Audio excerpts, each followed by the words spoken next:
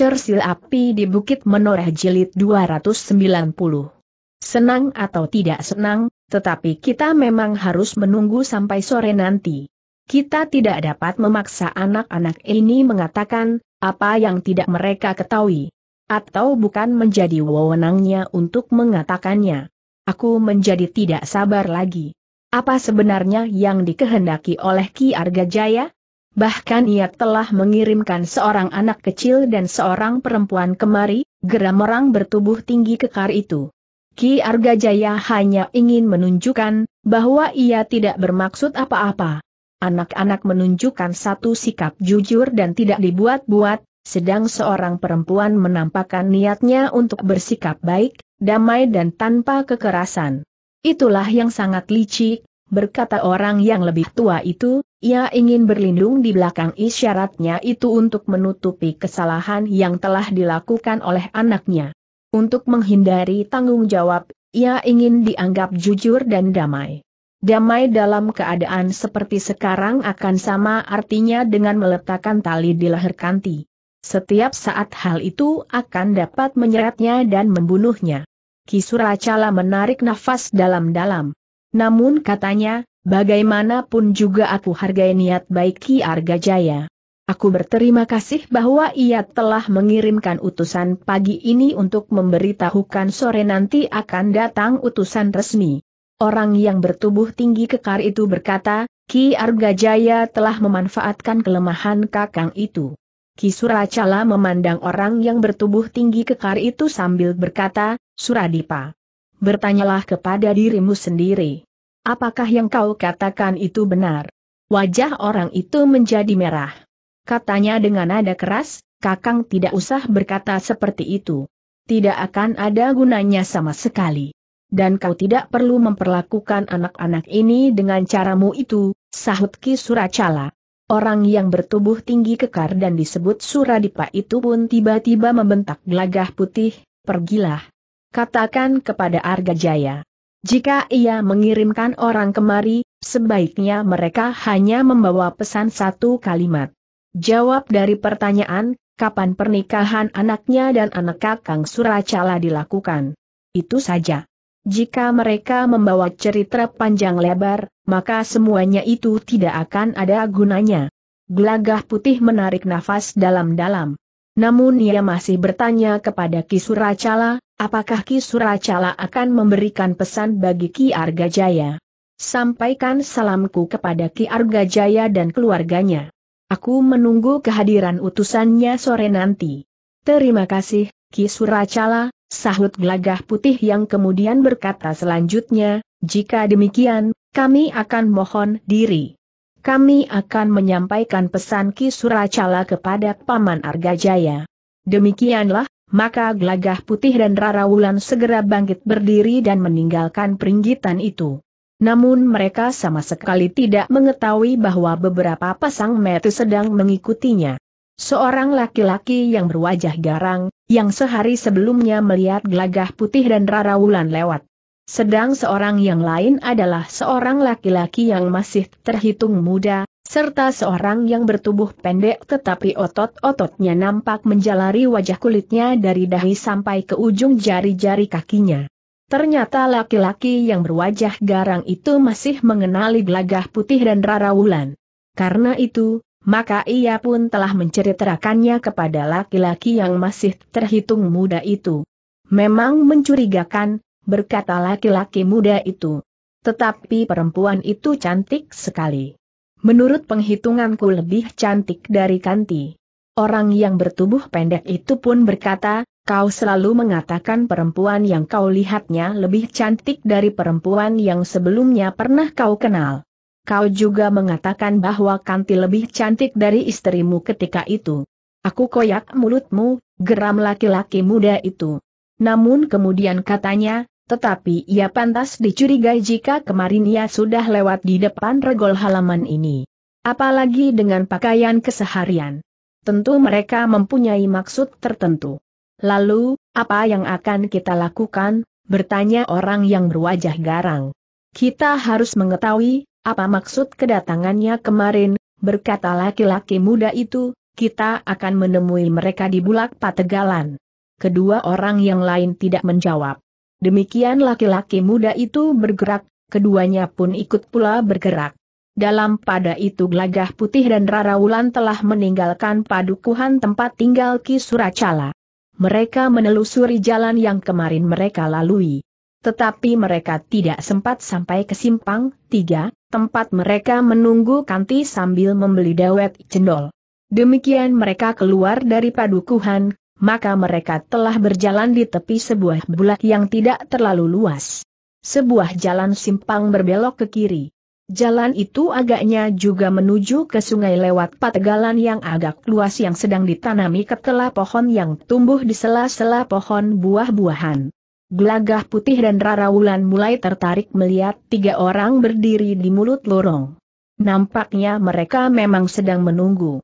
Bahkan gelagah putih pun kemudian berdesis, kau kenal salah seorang dari mereka.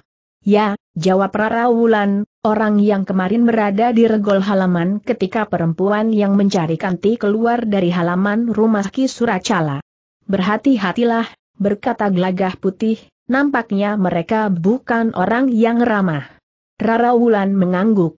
Katanya, untung kita tidak mengikuti jalan pikiran Kakang Agung Sedayu. Tetapi Kakang Agung Sedayu dapat mengerti bahwa kita bersiap-siap menghadapi segala kemungkinan. Rara Wulan mengangguk-angguk pula. Namun ia tidak sempat menjawab, karena mereka menjadi semakin dekat dengan ketiga orang itu. Sebenarnya lah, ketika mereka lewat di depan mulut lorong itu, laki-laki muda, salah seorang dari ketiga orang itu berkata dengan nada keras, berbeloklah. Jangan macam-macam, agar kami tidak menyakiti kalian. Berbelok ke mana? Rara Wulanlah yang bertanya kami akan kembali ke tanah perdikan menoreh. Aku tidak peduli, kalian akan pergi ke mana. Tetapi berbeloklah. Kita akan berbicara di Pategalan. Kami harus segera pulang, kisanak, berkata gelagah putih kemudian. Aku tidak mau mendengar jawab kalian. Aku perintahkan berbelok. Lakukan, atau kami akan melakukan kekerasan. Gelagah putih yang sudah berdiri di sisi Rarawulan termangu-mangu sejenak. Namun agaknya ketiga orang itu bersungguh-sungguh ingin memaksa mereka membelok mengikuti lorong itu. Gelagah pulih sempat memperhatikan jalan yang dilaluinya. Beberapa orang lewat memperhatikan mereka. Agaknya mereka mengira bahwa Gelagah Putih dan Rarawulan itu bertemu dengan kawan-kawannya sehingga keduanya berhenti sejenak untuk berbincang-bincang. Cepat, geram orang yang masih terhitung muda itu.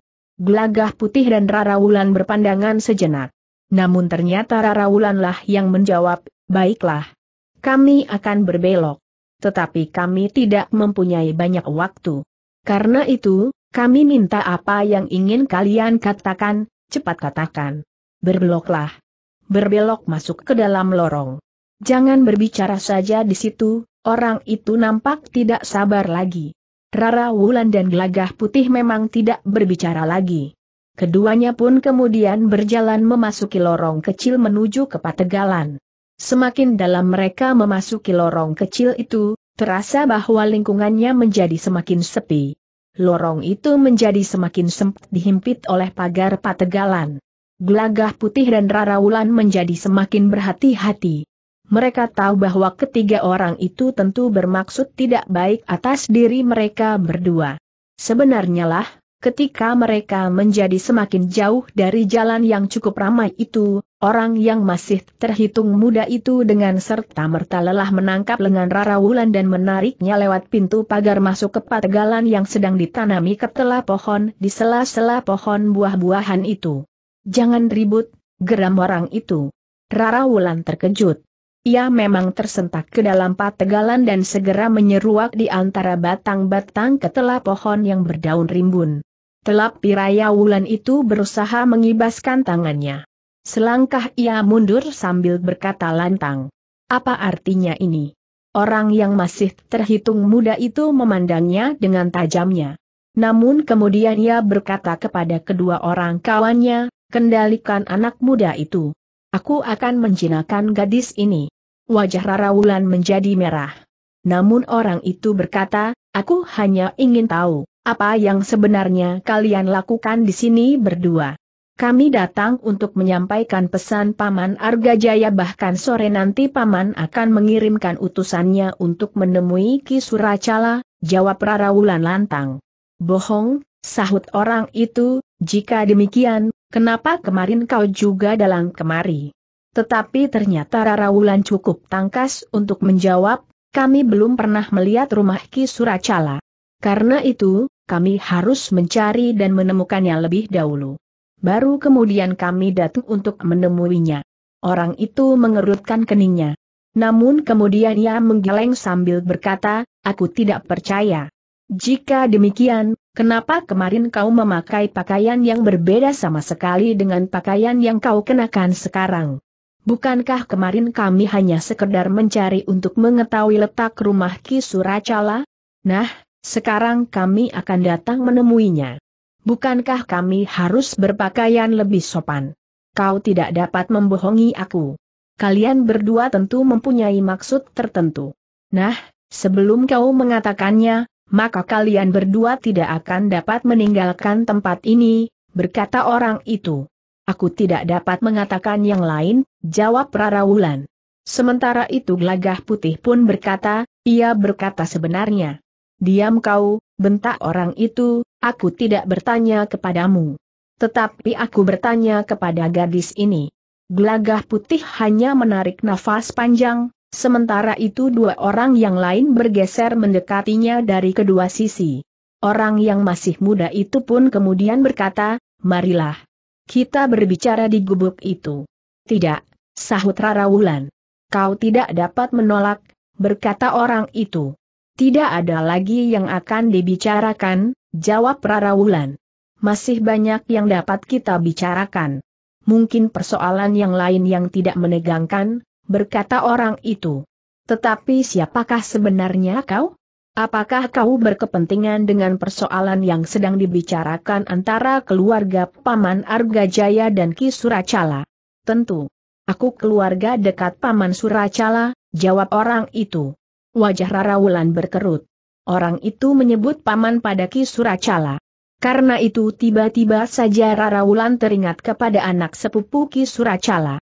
Bahkan hampir di luar sadarnya Rara Wulan bertanya. Kau saudara Misan Kanti? anak saudara sepupu Ki Suracala. Wajah orang itu menjadi merah justru karena Rara Wulan menyerbu nama Kanti. Untuk beberapa saat orang itu justru terdiam. Tetapi kemudian ia menjawab. Ya, aku saudara Misan Kanti. Karena itu, aku berkepentingan dengan persoalan yang terjadi di rumah Paman Suracala. Wajah Wulan menegang. Demikian pula gelagah putih. Ternyata mereka berhadapan dengan orang yang licik tetapi buas seperti seekor serigala. Pertemuan yang tidak terduga itu membuat jantung Rara Wulan bergejolak, ia mulai membayangkan nasib Kanti yang tidak menentu. Sebagai seorang gadis maka Rara Wulan dapat membayangkan derita yang disandang oleh Kanti, sementara Kanti tidak mempunyai kemampuan untuk memecahkannya. Selagi Rara Wulan merenung, maka orang itu telah memegang pergelangan tangan Rara Wulan sambil berkata, marilah, kita berbicara di gubuk itu. Kita akan dapat berbincang tanpa ketegangan serta tidak akan terganggu oleh siapa pun juga. Ternyata Rara Wulan tidak menolak. Ketika orang itu menarik tangannya, Rara Wulan mengikuti saja tanpa melawan. Gelagah putih mengerutkan dahinya. Tetapi ia tahu maksud Rara Wulan dan itulah yang dicemaskan oleh Agung Sedayu, justru Rara Wulan tidak berusaha menghindarinya. Tetapi gelagah putih sendiri bahkan sependapat dengan Rara Wulan. Karena itu, maka ia sama sekali tidak berusaha mencegahnya. Bahkan ia pun telah berjalan pula mengikuti Rara Wulan yang tangannya masih saja ditarik oleh orang itu. Sambil berjalan Rara Wulan sempat berkata, siapa namamu, Kisanak? Oh, Orang itu tergagap, nama Wiradadi. Kenapa? Tidak apa-apa, jawab Rara Wulan, aku hanya ingin tahu. Wiradadi tidak berbicara lagi. Ia berjalan semakin cepat sambil menarik tangan Rara Wulan. Kesannya memang sangat tergesa-gesa, sehingga Rara Wulan harus berlari-lari kecil. Beberapa puluh langkah di hadapan mereka memang terdapat sebuah gubuk yang tidak terlalu kecil. Di bawah sebatang pohon belimbing lingir yang besar dan berbuah lebat. Di depan gubuk itu terdapat tanah yang luang seakan-akan merupakan halaman bagi gubuk itu. Marilah. Kita akan berbicara di dalam, berkata Wiradadi. Rara Wulan tidak menjawab. Ia berjalan saja di belakang Wiradadi sementara orang itu masih memegang pergelangan tangannya. Di halaman yang sempit itu Wiradadi berhenti sejenak. Sambil berpaling ia berkata kepada kedua orang kawannya yang berjalan di sebelah menyebelah gelagah putih, biarlah anak itu menunggu aku di luar. Aku akan berbicara dengan gadis ini tanpa diganggu oleh siapa pun juga. Kedua orang itu dengan serta-merta telah memegangi lengan gelagah putih sebelah menyebelah pula. Orang yang berwajah garang itu berkata, berhenti. Kau tunggu di sini. Gelagah putih tidak menjawab. Tetapi ia memang berhenti. Dipandanginya saja Rara Wulan yang masih saja dibimbing oleh Wiradadi menuju ke pintu gubuk kecil itu. Namun ketika mereka sampai di halaman kecil di depan gubuk itu, maka Rara Wulan tiba-tiba berhenti sambil mengibaskan tangannya. Demikian tiba-tiba sehingga pegangan Wiradadi pun telah terlepas. Kenapa? berkata Wiradadi. Kita dapat berbicara di sini, berkata Rara Wulan. Tidak, jawab Wiradadi, kita berbicara di dalam. Sama saja, berkata Rara Wulan kemudian, di sini pun kita dapat berbicara dengan tenang tanpa ketegangan. Nah, katakan, apa yang akan kau katakan? Tidak. Aku akan mengatakannya setelah kita duduk di dalam. Di dalam gubuk itu ada sebuah hamben bambu yang di atasnya digelari pandan yang bersih, berkata Wiradadi. Tidak banyak yang akan kita bicarakan. Bicaralah di sini, sahut Rara Wulan. Tidak, anak manis. Marilah kita berbicara di dalam, berkata Wiradadi sambil menggapai pergelangan tangan Rara Wulan. Tetapi Rara Wulan melangkah surut sambil berkata, sekali lagi aku katakan, bahwa aku hanya akan berbicara di sini. Kau jangan keras kepala. Kau tidak mempunyai pilihan lain. Kau hanya dapat melakukan perintahku. Aku dapat berteriak, berkata Rara Wulan. Tetapi Wiradadi tertawa. Katanya, kita ada di tengah-tengah pategalan. Seandainya kau berteriak sekeras guntur di langit, maka tidak akan ada yang mendengarnya. Jika demikian, tempat ini baik sekali bagiku. Jika kau nanti berteriak-teriak minta tolong, maka tidak akan ada orang yang mendengar dan datang menolongmu, berkata Rara Wulan. Dahi orang itu berkerut. Namun kemudian ia bertanya, apa yang kau katakan? Tempat ini merupakan tempat yang baik untuk menghukummu. Seandainya kau berteriak-teriak memanggil orang-orangmu, maka mereka tentu tidak akan mendengar, jawab Rara Wulan. Orang itu menjadi semakin bingung. Sementara itu Rara Wulan berkata, Wiradadi, akulah yang akan menghukummu. Aku tahu apa yang akan kau lakukan. Atasku di gubuk itu. Karena itu, maka kau harus dihukum. Jaga tingkah lakumu yang tidak tahu diri. Gelagah putih yang sudah menduga apa yang akan dikatakan oleh Rara Wulan justru mendahului, kami datang hanya untuk menyampaikan pesan Paman Argajaya. Itu saja. Karena itu, maka kami tidak mempunyai kepentingan yang lain di sini. Wiradadi memang menjadi bingung. Justru karena itu, untuk sesaat ia terdiam. Sementara Wiradadi kebingungan, maka gelagah putih pun berkata, karena itu, kami tidak mempunyai kepentingan apa-apa di sini. Dengan demikian, maka biarkan kami pergi. Ki Wiradadari memang seperti orang mimpi. Namun ia masih juga berkata, kalian tidak boleh pergi. Aku memerlukan gadis ini, lalu katanya kepada kedua pengikutnya, jaga anak itu.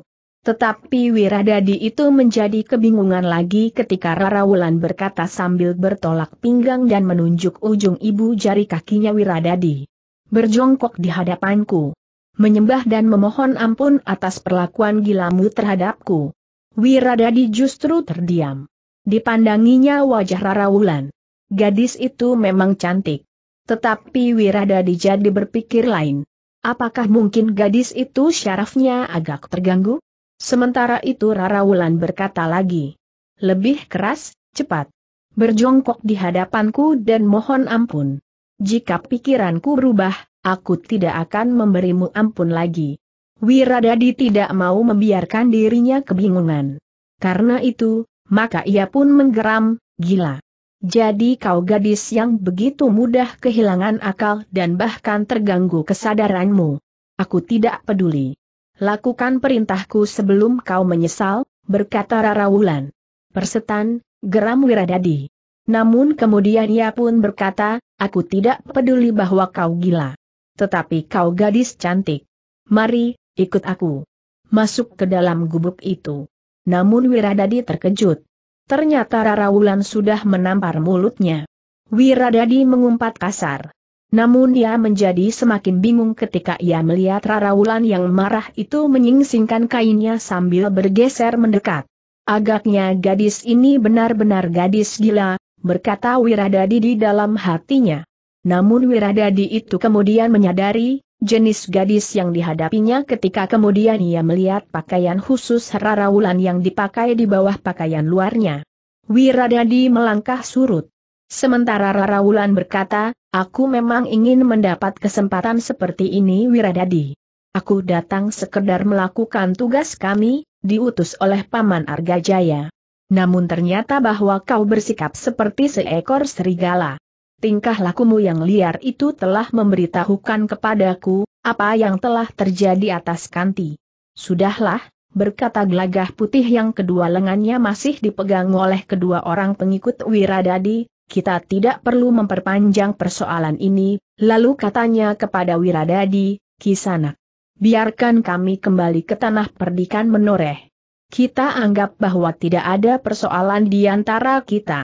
Tetapi Rara Wulan menyahut, ia sudah menghina aku. Aku tidak mau begitu saja berlalu tanpa memberikan hukuman kepadanya sesuai dengan kesalahannya. Gila.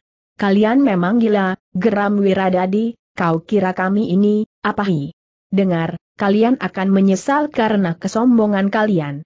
Apa pun yang akan terjadi kemudian atas kalian, maka itu adalah akibat dari kesalahan kalian sendiri. Aku juga akan berkata seperti itu, jawab Rara Wulan, apa pun yang akan terjadi atasmu, itu adalah akibat dari kegilaanmu sendiri. Kesabaran Wiradadi benar-benar sudah sampai ke batas. Perempuan cantik itu sudah keterlaluan. Bahkan ia sudah menampar pipinya pula. Karena itu, maka ia tidak mau lebih banyak berbicara lagi. Ia akan menundukkan gadis itu dan memperlakukannya menurut keinginannya, maka ia pun segera bersiap untuk menangkap gadis itu. Kepada kedua pengikutnya ia berkata, jaga anak muda itu. Aku akan menyelesaikan perempuan liar ini.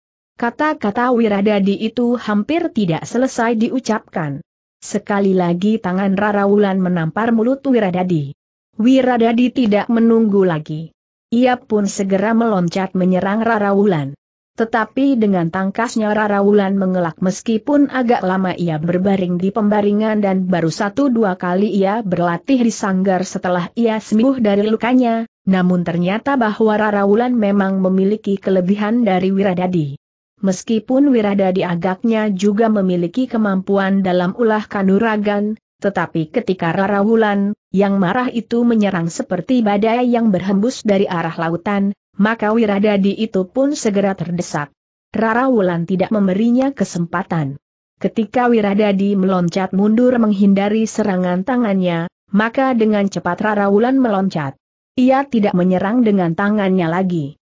Tetapi kakinya pun terjulur lurus menghantam dada. Wiradadi terlempar beberapa langkah surut, sehingga punggungnya menghantam dinding gubuk itu, sehingga dinding itu terkoyak. Ketika Wiradadi berusaha untuk bangkit, maka Rara Wulan telah berdiri bertolak pinggang sambil berkata, Nah, sekarang lakukan perintahku. Berjongkok di hadapanku. Menyembah dan mohon maaf kepadaku. Harga diri Wiradadi benar-benar tersinggung. Namun ketika ia akan meneriakan perintah kepada kedua orang pengikutnya, ia melihat keduanya telah terbaring diam di sebelah menyebelah anak muda itu pingsan tanpa diketahui sebabnya. Dengan sorot mata yang aneh Wiradadi memandang gelagah putih yang berdiri diam. Seolah-olah tidak pernah terjadi sesuatu pada dirinya meskipun dua orang yang memegangi lengannya itu pingsan.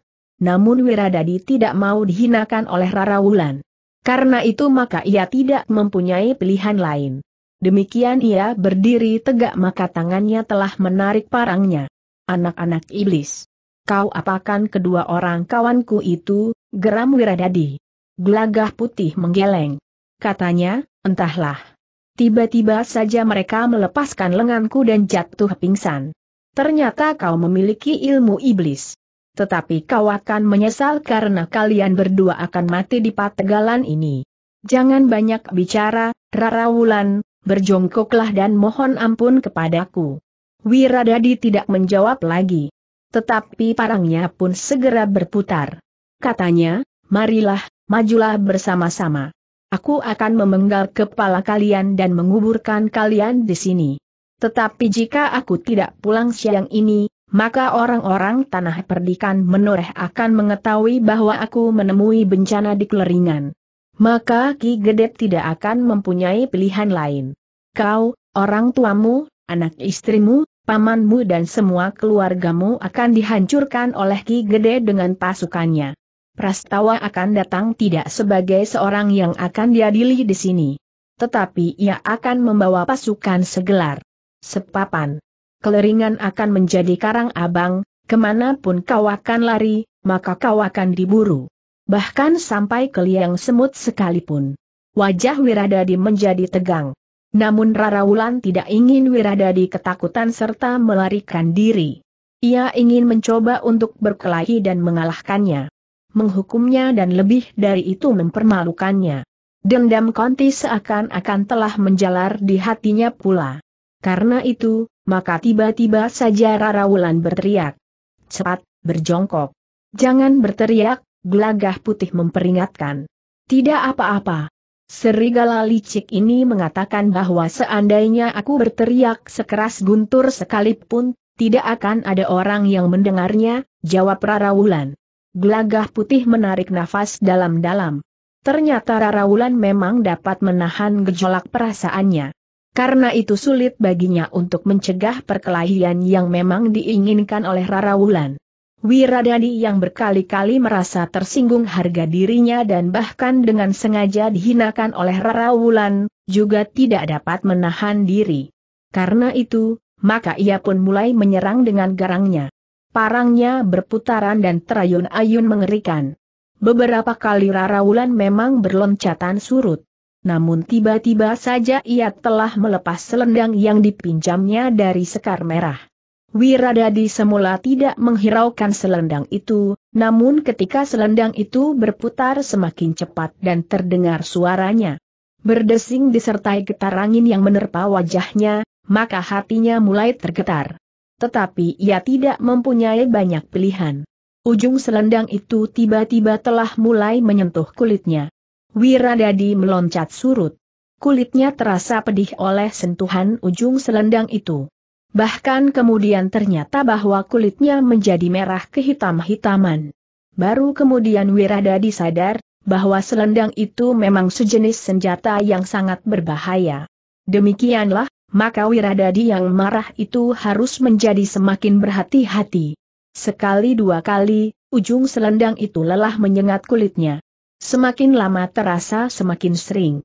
Wiradadi mulai menjadi semakin cemas. Sentuhan itu terasa semakin sakit di kulitnya. Bahkan kemudian sentuhan-sentuhan itu menjadi semakin sering dirasakannya. Tetapi Wiradadi tidak mendapat kesempatan untuk membalas. Betapapun ia berusaha menyerang dengan ujung parangnya, tetapi usahanya selalu sia-sia saja. Rara Wulan itu baginya bagaikan bayangan yang tidak dapat disentuh sama sekali. Ketika ujung selendang Rara Wulan semakin sering menyakitinya, maka Wiradadi menjadi semakin gelisah.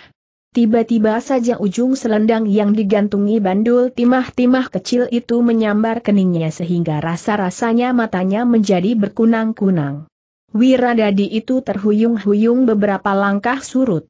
Keningnya bukan saja menjadi sakit. Tetapi rasa-rasanya tulang pelipisnya menjadi retak. Tetapi sebelum Wiradadi sempat memperbaiki kedudukannya, maka bandul timah di ujung selendang itu telah menghantam punggungnya.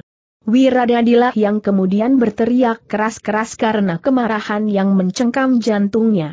Tetapi sebelum mulutnya terkatup rapat, maka ujung selendang Rara Wulan justru telah menghantam mulutnya.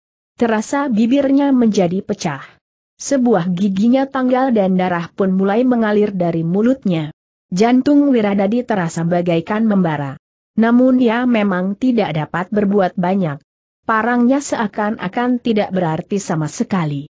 Selendang itu memang lebih panjang dari parang di tangannya, sehingga sebelum parangnya menggapai sasaran, ujung selendang itu telah mengenai tubuhnya lagi. Bahkan semakin lama semakin sering. Dengan demikian, perasaan sakit dan nyeri rasa-rasanya sudah menjalar di seluruh tubuhnya. Pada kulitnya terdapat noda-noda merah biru. Bahkan beberapa gores luka dan berdarah sebagaimana darah mengalir dari mulutnya. Akhirnya Ki Wiradadi itu menjadi tidak tahan lagi. Ia harus mengakui kenyataan, bahwa gadis itu tidak akan dapat dilawannya. Jika ia bertahan untuk bertempur terus, maka ia akan dapat menjadi pingsan seperti kedua orang pengikutnya itu.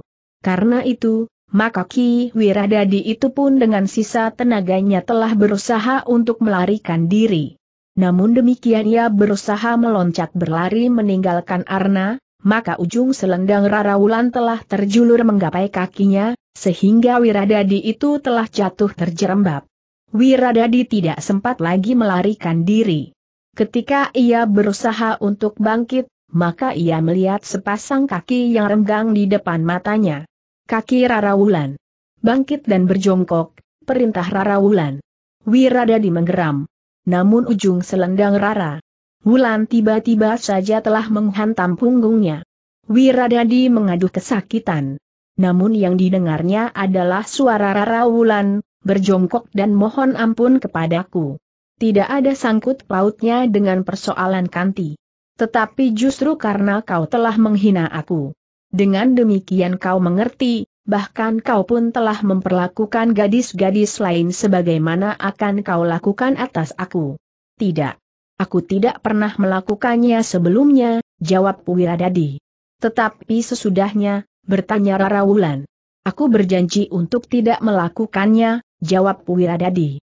Namun Rara Wulan dengan cepat menyahut, omong kosong. Orang-orang seperti kau ini tidak akan dapat dipercaya. Sungguh, aku bersumpah, berkata Wiradadi. Tetapi Rarawulan membentak, aku tidak memerlukan sumpahmu.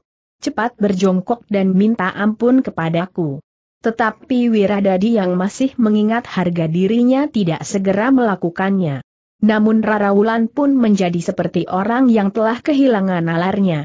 Sekali lagi selendangnya terayun dan menghantam punggung Wiradadi, sehingga terdengar Wiradadi itu mengadu kesakitan. Gelagah putih menarik nafas dalam-dalam. Bahkan kemudian ia memberi isyarat agar Rarawulan meninggalkan Wiradadi yang kesakitan itu. Tetapi Rarawulan justru menjawab lantang, tidak. Ia harus berjongkok dan mohon ampun. Jika tidak, maka ia akan mati di sini. Dua orang yang pingsan itu akan mati juga, sehingga tidak akan ada saksi, apa yang telah aku lakukan di sini. Gelagah putih memang menjadi gelisah. Persoalannya tentu akan berkembang semakin buruk, ia tidak dapat membayangkan, apa yang akan terjadi sore nanti jika Ki Jaya Raga, Agung Sedayu dan Suandaru suami istri datang ke rumah Ki Suracala. Sementara itu, Rara Wulan masih juga mengayunkan selendangnya ke punggung Wiradadi, sehingga orang itu mengadu kesakitan. Aku akan menghitung sampai lima. Jika kau masih juga tidak mau berjongkok dan mohon ampun kepadaku, maka aku akan melecutmu dengan selendangku ini sampai kau mati. Aku tidak peduli apa yang akan terjadi. Jika perlu, maka Kakang Prastawa aku minta untuk mengerahkan pasukan menghancurkan semua isi kademangan keleringan. Apalagi jika kademangan ini berusaha melindungi keluargamu. Seperti yang dikatakan, maka Rara Wulan benar-benar mulai menghitung. Namun sampai kehitungan ketiga, maka Wiradadi pun telah memaksa dirinya untuk berjongkok di depan Rara Wulan sambil berkata, baik, baik, aku akan minta maaf kepadamu. Mohon ampun. Bukan minta maaf. Cepat lakukan sebelum aku mencambukmu lagi. Aku mohon ampun, suara Wiradadi hampir tidak terdengar. Aku tidak mendengar suaramu. Ulangi, bentak Rara Wulan. Wiradadi terpaksa mengulanginya. Ternyata ia benar-benar berhadapan dengan seorang gadis yang garang dan lebih dari itu, ilmunya ternyata lebih tinggi dari ilmunya. Karena itu, maka Wiradadi pun terpaksa mengulangi dengan kata-kata yang lebih keras, aku mohon ampun. Rara Wulan termangu-mangu sejenak. Namun kemudian ia pun telah bergeser dan berkata, marilah, kita tinggalkan tikus-tikus celurut itu. Gelagah putih mengangguk. Namun ia berkata, benahi pakaianmu. Rara Wulan termangu-mangu sejenak. Namun kemudian ia pun melangkah masuk ke dalam gubuk, meskipun ia tetap berhati-hati. Ketika ia memasuki pintu gubuk itu ia berhenti sejenak. Berpaling kepada Wiradadi sambil berkata, kau juga akan ikut masuk. Wiradadi tidak berani menjawab. Tetapi ia mengumpat-umpat di dalam hati. Rara Wulan pun kemudian membenahi pakaiannya di dalam gubuk itu. Hanya beberapa saat. Ia pun segera keluar lagi. Dikenakannya selendangnya seperti semula, sebagaimana seorang perempuan mengenakan selendang. Kemudian tanpa mengatakan sepatah kata pun, Rara Wulan melangkah meninggalkan pategalan itu diikuti oleh gelagah putih. Ketika mereka keluar dan mulut lorong, maka gelagah putih berdesis, kau bersikap terlalu keras Rara. Kau dapat berkata begitu karena kau tidak mengalami penghinaan yang mendasar. Kau tahu apa yang akan dilakukan atas diriku? Tidak ada ampun bagi siapa yang demikian. Untung aku masih mampu mengendalikan diri dan tidak membunuhnya. Tetapi bukankah tidak terjadi apa-apa, bertanya gelagah putih. Tetapi itu sudah terjadi di kepala orang itu itu satu kenyataan bagi angan-angannya. Dan itu sudah sepantasnya ia menerima hukuman yang seharusnya jauh lebih berat dari yang aku lakukan, jawab Rara Wulan. Gelagah putih menarik nafas dalam-dalam. Namun katanya, kau dapat membayangkan apa yang akan terjadi sore nanti. Aku akan ikut. Jika aku harus mempertanggungjawabkan perbuatanku, aku akan melakukannya, jawab Rara Wulan. Kakang Agung Sedayu dan Kakang Suandaru tentu tidak akan mengizinkan kau ikut sore nanti. Kenapa? Bukankah yang terjadi tadi harus dipertanggungjawabkan?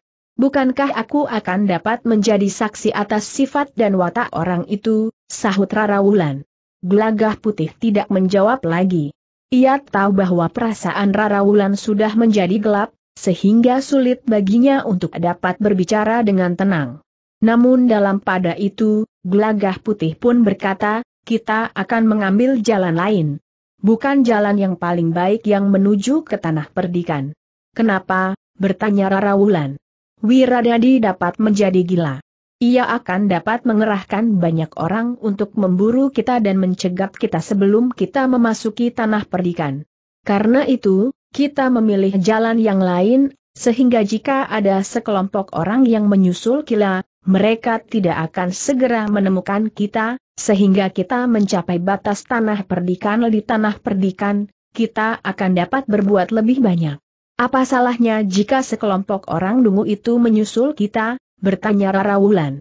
Bukankah lebih baik jika kita tidak bertemu dengan mereka yang sudah dapat kita bayangkan akibatnya, bertanya gelagah putih dengan kata-kata yang berat menekan. Rara Wulan tidak menjawab. Namun ketika gelagah putih mengajaknya berbelok melalui jalan kecil, mereka pun berbelok. Meskipun gelagah putih belum pernah melalui jalan-jalan sempit di Kademangan Keleringan, namun dengan mengenali arah perjalanannya, maka gelagah putih tidak mengalami kesulitan untuk sampai ke perbatasan tanah perdikan menoreh di lereng pegunungan. Untunglah bahwa kawan perjalanannya bukan seorang gadis sebagaimana gadis kebanyakan. Ketika mereka melewat jalan berbatu padas dan bahkan kemudian mulai miring di kaki pegunungan, maka Rara Wulan tidak lagi menghiraukan pakaiannya. Ia telah menyingsingkan lagi kain panjangnya, sehingga pakaian khususnya lah yang nampak dikenakannya. Namun ternyata bahwa Wiradadi tidak mengerahkan orang-orangnya untuk mengejar gelagah putih dan rara wulan. Tubuhnya terasa nyeri sedangkan tulang punggungnya bagaikan menjadi retak. Dua orang pengikutnya yang pingsan itu pun mulai menjadi sadar kembali. Perlahan-lahan mereka mulai menemukan ingatannya, apa yang telah terjadi atas diri mereka. Namun mereka tetap tidak mengetahui, apa yang diperbuat oleh anak muda itu. Ketika mereka siap untuk memaksa anak muda itu agar tidak berbuat sesuatu, tiba-tiba saja mata mereka menjadi berkunang-kunang dan akhirnya semuanya menjadi gelap.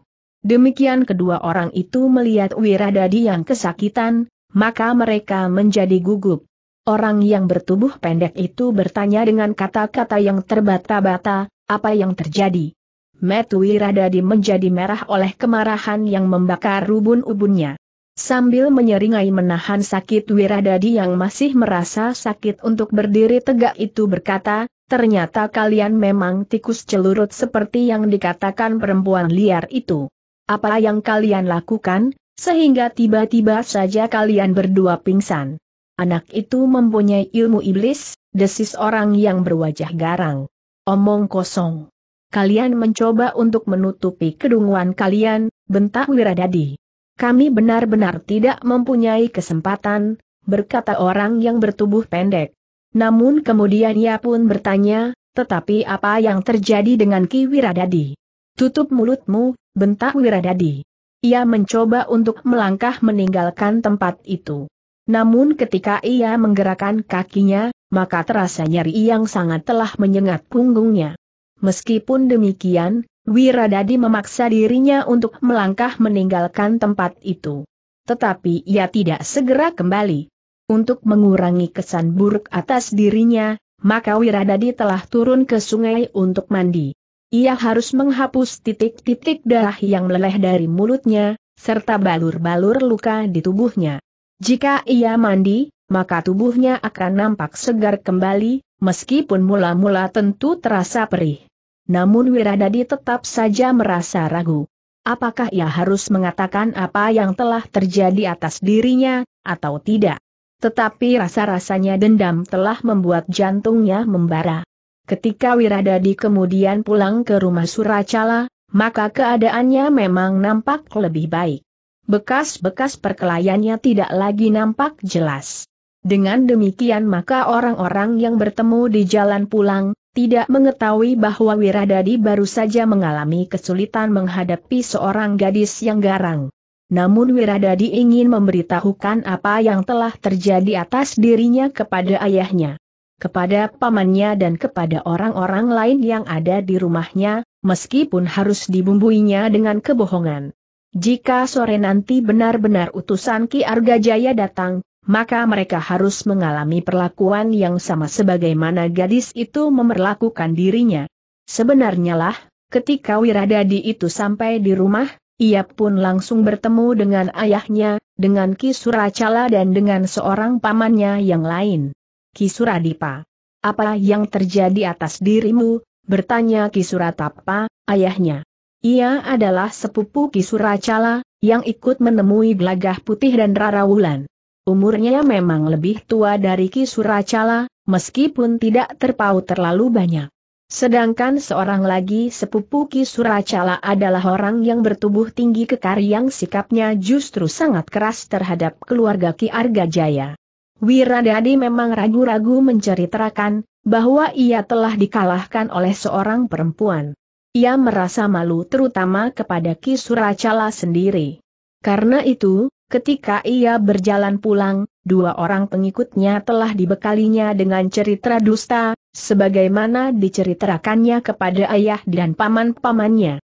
Kami tahu bahwa kedua orang itu kemarin sudah mengamati rumah ini, berkata Wiradadi, karena itu, maka aku berniat untuk bertanya kepada mereka, untuk apa mereka kemarin datang kemari dan kemudian hari ini mereka datang pula.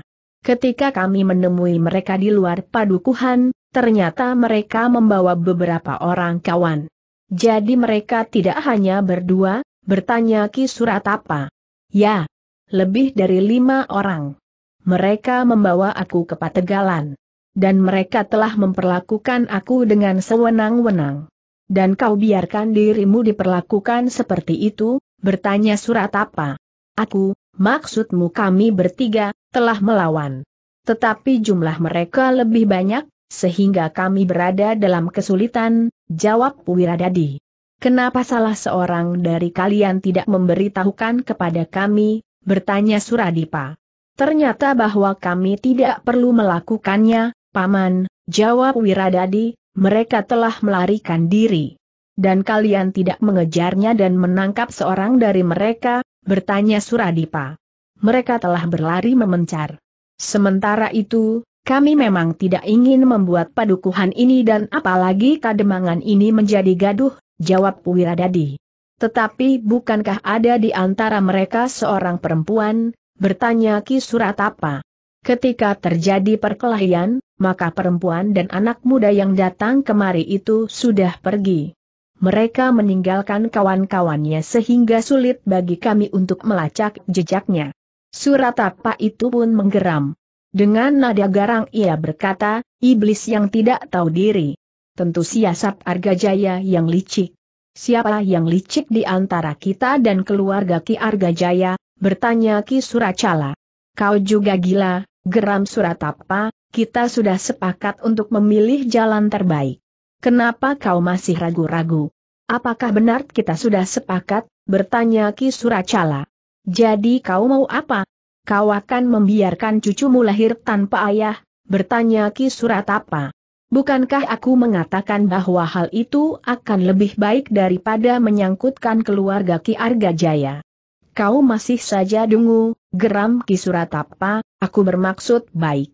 Jika prastawa kawin dengan anakmu, maka kau akan dapat berharap ikut berkuasa di tanah perdikan menoreh.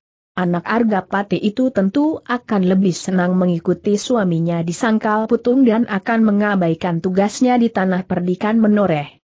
Nah, hanya tinggal prastawa yang ada di antara keluarga Ki Argapati. Tetapi Ki Argajaya bukan sejenis lembu perahan yang akan menurut saja diperas tanpa berbuat sesuatu? Ia akan dapat berbuat banyak sebagai adik kepala tanah perdikan menoreh. Menoreh tidak akan mempergunakan kekuatan tanah perdikan. Jika demikian maka mereka akan berhadap dengan kademangan keleringan. Kau kira tanah perdikan berani menghadapi kademangan keleringan? Aku yakin, bahwa aku akan dapat mempengaruhi Ki Demang Kelering jika Arga Jaya berniat menggerakkan kekuatan tanah perdikan menoreh untuk kepentingan pribadinya. Aku pun mengira, bahwa Ki Arga Pati tidak akan memberikan kesempatan Ki Arga Jaya berbuat demikian. Nama Arga Jaya itu sendiri di tanah perdikan menoreh sudah tersisih sejak ia memberontak melawan kakaknya. Namun ternyata bahwa anaknya masih dianggap seorang pemimpin yang baik di tanah perdikan. Ternyata kau tidak dapat membaca keadaan di tanah perdikan menoreh. Kau kira Ki Demang Keleringan berani melawan tanah perdikan menoreh? Kecuali jika Ki Demang ingin melebur kademangan ini menjadi debu, berkata Ki Suracala. Kami akan membatasi persoalan ini sebagai persoalan keluarga. Kami akan menyinggung harga diri keluarga Ki Arga Jaya agar tidak mempergunakan kekuatan tanah perdikan. Nah, kita akan mencobanya sore nanti, desis Suradipa. Wajah Ki Suracala menjadi tegang. Dengan nada tinggi ia berkata, apa yang akan kalian lakukan sore nanti? Kita akan melihat, apakah keterangan mereka memuaskan atau tidak. Jika mereka masih berbelit-belit dan tidak mau dengan tangan terbuka menerima tawaran kita agar Prastawa segera menikah dengan Kanti, maka kita akan memperlakukan mereka sebagaimana orang-orang Argajaya memperlakukan Wiradadi, berkata Ki Suratapa. Itu tidak adil, berkata Ki Suracala. Apa yang tidak adil? Bukankah itu justru adil sekali? Suradipa justru bertanya. Terus terang, aku tidak yakin akan kebenaran cerita Wiradadi, berkata Ki Suracala. Kau selalu berprasangka buruk, geram Ki Suratapa, aku peringatkan, bahwa kau tidak mempunyai kesempatan apa pun untuk menentukan sikap. Kau berada di bawah kekuasaan kami. Kau harus mengakui kenyataan buruk tentang anakmu. Ia telah menjerat Wiradadi yang sudah beristri.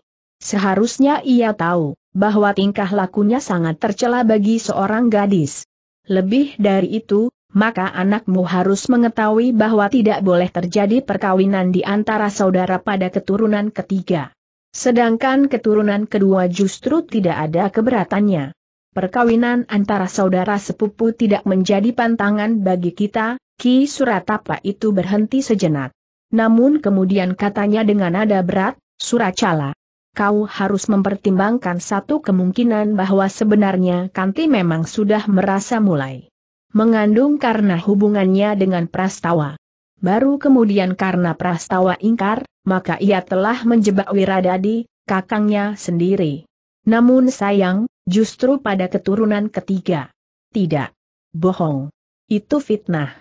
Anakku tidak pernah berhubungan dengan Prastawa lebih dari hubungan persahabatan sebagaimana aku dengan Adi Prastawa, jawab Ki Suracala. Apakah kau tidak pernah mendengar pengakuan Kanti, bahwa ia memang mencintai Prastawa? bertanya Suradipa. Seandainya demikian, mereka tentu tidak akan melakukan larangan itu, jawab Suracala. Suratapa dan Suradipa tertawa. Dengan nada tinggi Suratapa berkata, kau memang keras kepala. Karena itu, kami akan menentukan kehendak kami tanpa minta persetujuanmu. Ingat, kau tidak akan dapat melawan kehendak kami karena kami bermaksud baik terhadap Kanti. Kami memang merasa kasihan kepadanya.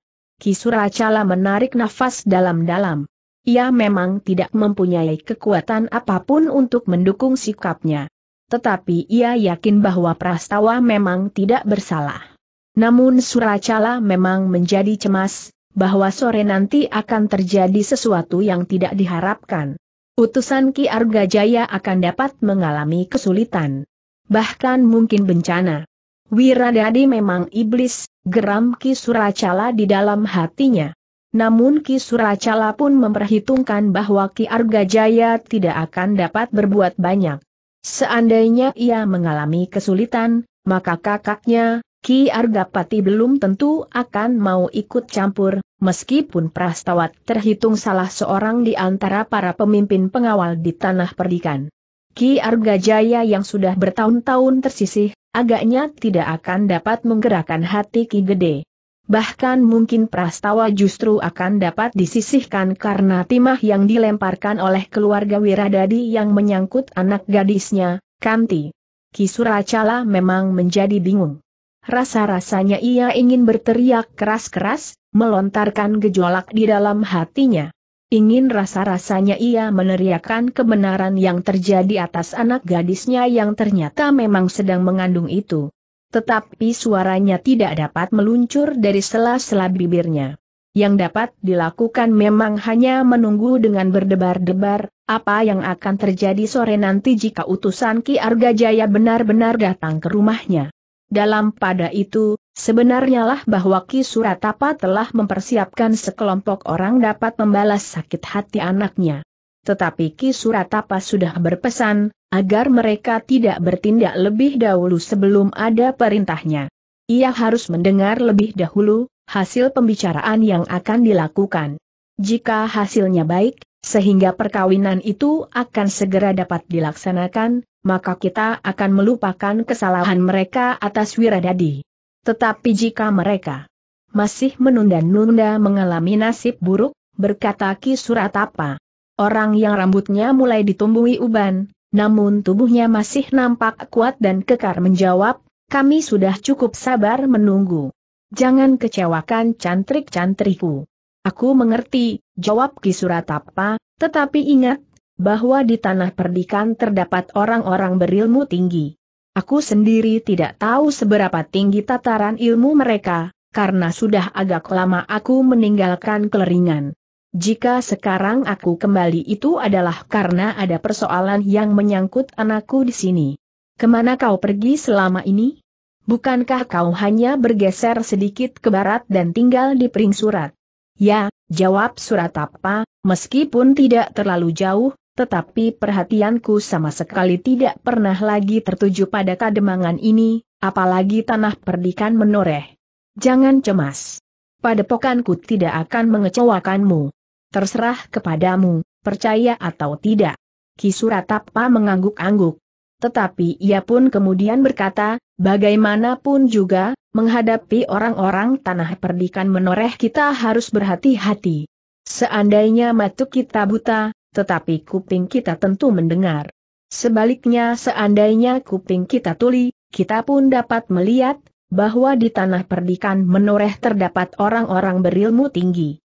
Apakah kau memperkirakan bahwa Ki Argajaya akan memanfaatkan kedudukan kakaknya? Bertanya orang itu. Aku kira tidak. Bagaimanapun juga ia masih mempunyai harga diri. Kecuali itu, Ki Gedep tidak akan mudah melupakan pengkhianatan adiknya itu, sehingga mungkin justru Prastawalah yang akan disingkirkan, jawab surat apa. Segala kemungkinan dapat terjadi. Tetapi satu hal yang sudah pernah aku katakan dan masih tetap berlaku. Aku tidak bertanggung jawab jika tanah perdikan mengerahkan pasukan pengawalnya. Padepokanku bahkan bergabung dengan kademangan keleringan sekalipun tidak akan mampu berbuat apa-apa.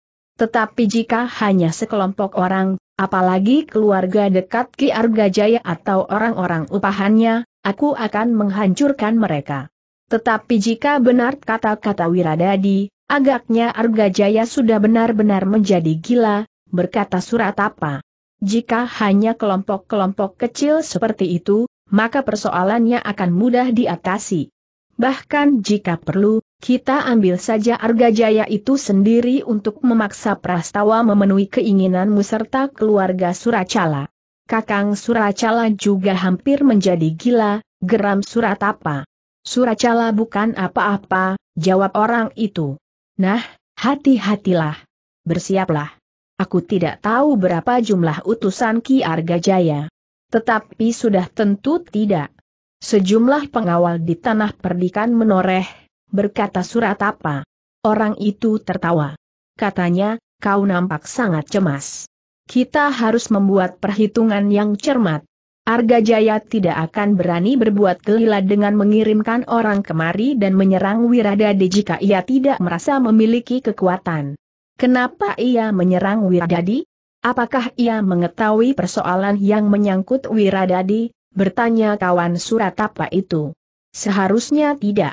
Tetapi mungkin justru Wiradadilah yang dijumpainya, sehingga secara kebetulan ia menjadi sasaran kegilaan Arga Jaya atau bahkan Prastawa. Apakah mungkin mereka termasuk para pengawal tanah perdikan menoreh? Justru pengawal terpilih yang dikirim oleh Prastawa untuk menakut-nakuti kalian karena kalian telah menakut-nakuti ayahnya. Sementara itu Prastawa merasa pasti bahwa ia tidak bersalah. Nah, bukan aku yang menjadi cemas. Tetapi kau sudah menjadi ragu-ragu pula, berkata surat apa. Tidak, aku tidak ragu-ragu. Bebanku ringan. Jika persoalannya kemudian melibatkan tanah perdikan menoreh, aku tidak bertanggung jawab. Aku dapat pergi begitu saja dan membiarkan kademangan ini digelas oleh kekuatan tanah perdikan. Setan kau, geram surat apa? Orang itu tertawa. Namun katanya kemudian, jangan cemas. Jika utusannya sore nanti tidak membuat persoalannya menjadi jernih, maka kami akan melakukan apa yang sebaiknya kami lakukan. Kami telah menyiapkan sepuluh orang berilmu tinggi. Lima orang dari perguruanku sendiri. Sedangkan lima orang dari perguruan lain. Bukan karena aku tidak mempunyai orang cukup, tetapi melibatkan perguruan lain akan mempunyai pengaruh yang baik jika terjadi permusuhan yang panjang di kemudian hari. Setidak-tidaknya ada kawan untuk memanggul beban. Nanti sore aku akan melibatkan tiga perguruan yang besar dari barat. Suratapa mengangguk-angguk. Namun orang itu kemudian berkata, tetapi seperti yang kau janjikan. Kami akan mendapat imbalan yang cukup. Suratapa mengangguk-angguk. Katanya, aku mempunyai berpuluh-puluh ekor lembu dan kerbau. Kau tahu itu. Sementara itu keluarga Wiradadi perlu diselamatkan, surat tapa itu berhenti sejenak, Lalu katanya, bukankah kau tahu, siapakah mertua Wiradadi itu? Ya. Tetapi kenapa ia tidak kau libatkan sekarang, bertanya orang itu. Untuk sementara mereka tidak usah mengetahui apa yang terjadi di sini. Tetapi jika perlu, maka kami dapat membohonginya sebagaimana kami membohongi Arga Jaya. Jika mertua Wiradadi sudah termakan, maka persoalannya akan meluas. Orang itu mengangguk-angguk. Tetapi ia pun mengerti, kenapa Suratapa belum melibatkan mertua Wiradadi. Agaknya jika mungkin persoalan antara Wiradadi dan Kanti akan disembunyikan saja. Namun jika tidak mungkin, maka fitnah atas Prastawa akan diperluas lagi. Demikianlah, maka semua persiapan dilakukan seandainya pembicaraan Ki Suracala dengan utusan Ki Argajaya itu gagal mereka akan memperlakukan orang-orang tanah perdikan menoreh itu dengan tindak kekerasan sebagaimana mereka lakukan atas Wiradadi sesuai dengan laporan Wiradadi itu sendiri. Dalam pada itu, maka Gelagah Putih dan Rara Wulan telah berada di rumahnya. Mereka telah memberitahukan apa yang terjadi di kademangan keleringan itu kepada Ki Jaya Raga. Nanti sore aku akan ikut, berkata Rara Wulan dengan tegas. Ki Jayaraga menarik nafas dalam-dalam. Sekar Mirah yang ikut mendengarkan laporan Rara Wulan dan Gelagah Putih itu pun menjadi berdebar-debar. Ternyata persoalannya menjadi semakin rumit. Tetapi itu bukan salah kami, Mbokayu, berkata Rara Wulan kemudian kepada Sekar Mirah, mereka mencegat kami. Sekar Mirah mengangguk-angguk sambil menjawab. Ya, memang bukan salah kalian. Karena itu, nanti sore aku harus ikut. Aku akan menjelaskan kepada keluarga Kisuracala, bahwa orang yang bernama Wiradadi itu memang serigala. Tetapi kita tidak akan dapat mengatakan bahwa kau telah bertemu dengan Kanti, berkata Sekar Mirah. Kenapa? Aku tidak takut. Biarlah hal itu dikatakan. Jika mereka mendendam kami berdua, kami tidak keberatan, jawab Rara Wulan. Aku percaya. Tetapi yang juga akan mengalami kesulitan adalah Kanti itu sendiri. Bukankah ayahnya tidak lagi mampu melindunginya karena tingkah laku saudara sepupunya itu, sahut Sekar Mirah. Rara Wulan termangu-mangu sejenak. Sementara Ki Jaya Raga berkata, Embokayumu benar, Rara.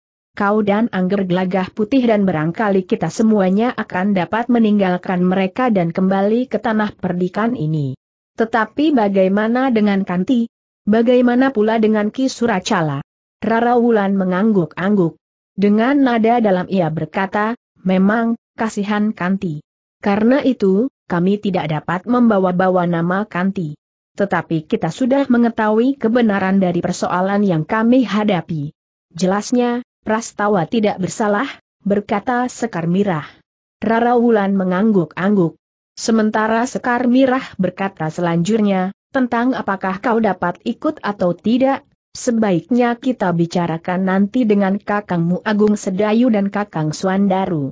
Tetapi bagaimana dengan pendapatmu Kayu sendiri? Dan bagaimana dengan Ki Jaya Raga? Bertanya Rara Wulan, apa sebenarnya keberatannya jika aku ikut? Aku tidak akan mengganggu pembicaraan Ki Jaya Raga. Tetapi jika mereka berdusta, aku dapat menjadi saksi. Berdusta tentang apa? Tentang peristiwa yang baru saja terjadi, atau tentang prastawa, bekerja sekar mirah. Rara Wulan memang termangu-mangu sejenak. Namun kemudian katanya, tentang semuanya. Tentang semuanya. Sekar mirah menarik nafas panjang. Rara Wulan nampaknya benar-benar tersinggung oleh perlakuan Wirada di atasnya, sehingga kemarahannya masih saja melonjak-lonjak. Sambil mengangguk-angguk Sekar Mirah pun berkata, Baiklah. Kita menunggu Kakang Agung Sedayu. Kakang sudah mengatakan bahwa ia akan pulang lebih awal agar kita tidak terlalu malam sampai di keleringan. Rara Wulan tidak menjawab. Tetapi wajahnya masih nampak gelap. Sementara itu Sekar Mirah berkata, sekarang, beristirahatlah Rara kau tentu letih. Rara Wulan mengangguk kecil. Ia pun kemudian telah pergi ke biliknya. Namun Rara Wulan sama sekali tidak beristirahat, justru memasuki sanggar seorang diri. Tetapi Sekar Mirah, Kijaya Raga dan Gelagah Putih tidak mencegahnya. Mereka tahu bahwa Rara Wulan ingin melepaskan gejolak yang menghimpit jantung di dadanya. Sebenarnya lah Rara Wulan pun telah melakukan latihan-latihan berat seorang diri. Seakan-akan ia ingin tahu, puncak kemampuannya selama ia berguru kepada Sekar Mirah.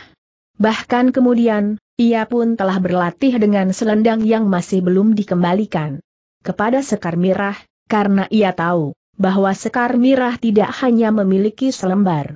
Seperti yang dikatakan, ternyata Agung Sedayu pulang lebih awal dari biasanya. Ia pun segera minta agar gelagah putih pergi menemui Swandaru untuk menatakan bahwa Agung Sedayu telah berada di rumah. Sebentar lagi, kami akan datang. Kita akan segera berangkat ke Keleringan, pesan Agung Sedayu. Lalu katanya pula, karena itu, kami minta Swandaru berdua mempersiapkan diri. Demikian gelagah pulih berangkat ke rumah Ki Gede untuk menemui Swandaru, maka Sekar Mirah pun telah memberitahukan persoalan yang dihadapi Rara Wulan dan Gelagah Putih di perjalanan. Orang itu memang keterlaluan, desis Agung Sedayu. Sore ini Rara Wulan memaksa untuk ikut, berkata Sekar Mirah pula, nampaknya kemarahannya masih memanasi jantungnya. Di mana ia sekarang? bertanya Agung Sedayu. Ia berada di sanggar. Sudah cukup lama, jawab Sekar Mirah. Kepada Ki Jaya Raga Agung Sedayu pun minta pertimbangan, bagaimana sebaiknya dengan Rara Wulan. Seandainya kita melarangnya, mungkin ia akan menyusul meskipun hanya sendiri, berkata Ki Jaya Raga. Apakah gelagah putih tidak dapat mencegahnya? Bertanya Agung Sedayu pula. Agaknya terlalu sulit untuk menahan agar anak tidak pergi, jawab Ki Jaya Raga. Agung Sedayu memang menjadi bingung. Dengan ragu-ragu ia bertanya kepada Ki Jaya Raga, apakah lebih baik anak itu kita bawa daripada ia berbuat sesuatu di luar pengetahuan kita. Ki Jaya Raga mengangguk sambil menjawab, aku kira memang demikian. Tetapi ia harus berjanji, bahwa ia akan menurut perintah kita. Gadis itu tidak boleh berbuat menurut kehendaknya sendiri. Namun Sekar Mirah pun berkata, nampaknya pembicaraan akan menjadi keras. Aku juga menduga demikian. Bahkan seandainya Rara Wulan tidak terlibat dalam perkelahian sekalipun, persoalannya akan menjadi rumit. Mereka menghendaki kita memberikan jawaban hanya soal waktu. Kapan pernikahan dilaksanakan, akan menikahinya karena ia memang tidak seharusnya bertanggung jawab. Memang nampaknya tidak ada pilihan lain. Kita tidak tahu, Apakah mereka sudah mempersiapkan sekelompok orang untuk menyambut kedatangan kita dengan caranya, berkata Ki Jaya Raga. Kita memang harus mempersiapkan diri sebaik-baiknya, berkata Agung Sedayu kemudian. Agung Sedayu pun kemudian minta agar Sekar Mirah memanggil Rara Wulan. Jika ia memang akan ikut, sebaiknya ia mandi dan berbenah diri. Kita akan segera berangkat. Jika kita terlalu lama, maka Swandaru akan terlalu lama menunggu, berkata Agung Sedayu. Demikianlah, maka Sekar Mirah pun segera memanggil Rara Wulan yang berada di dalam sanggar. Ketika Sekar Mirah memberitahukan bahwa Agung Sedayu telah datang, maka Rara Wulan pun segera akan berlari. Kau mau ke mana, Rara? bertanya Sekar Mirah.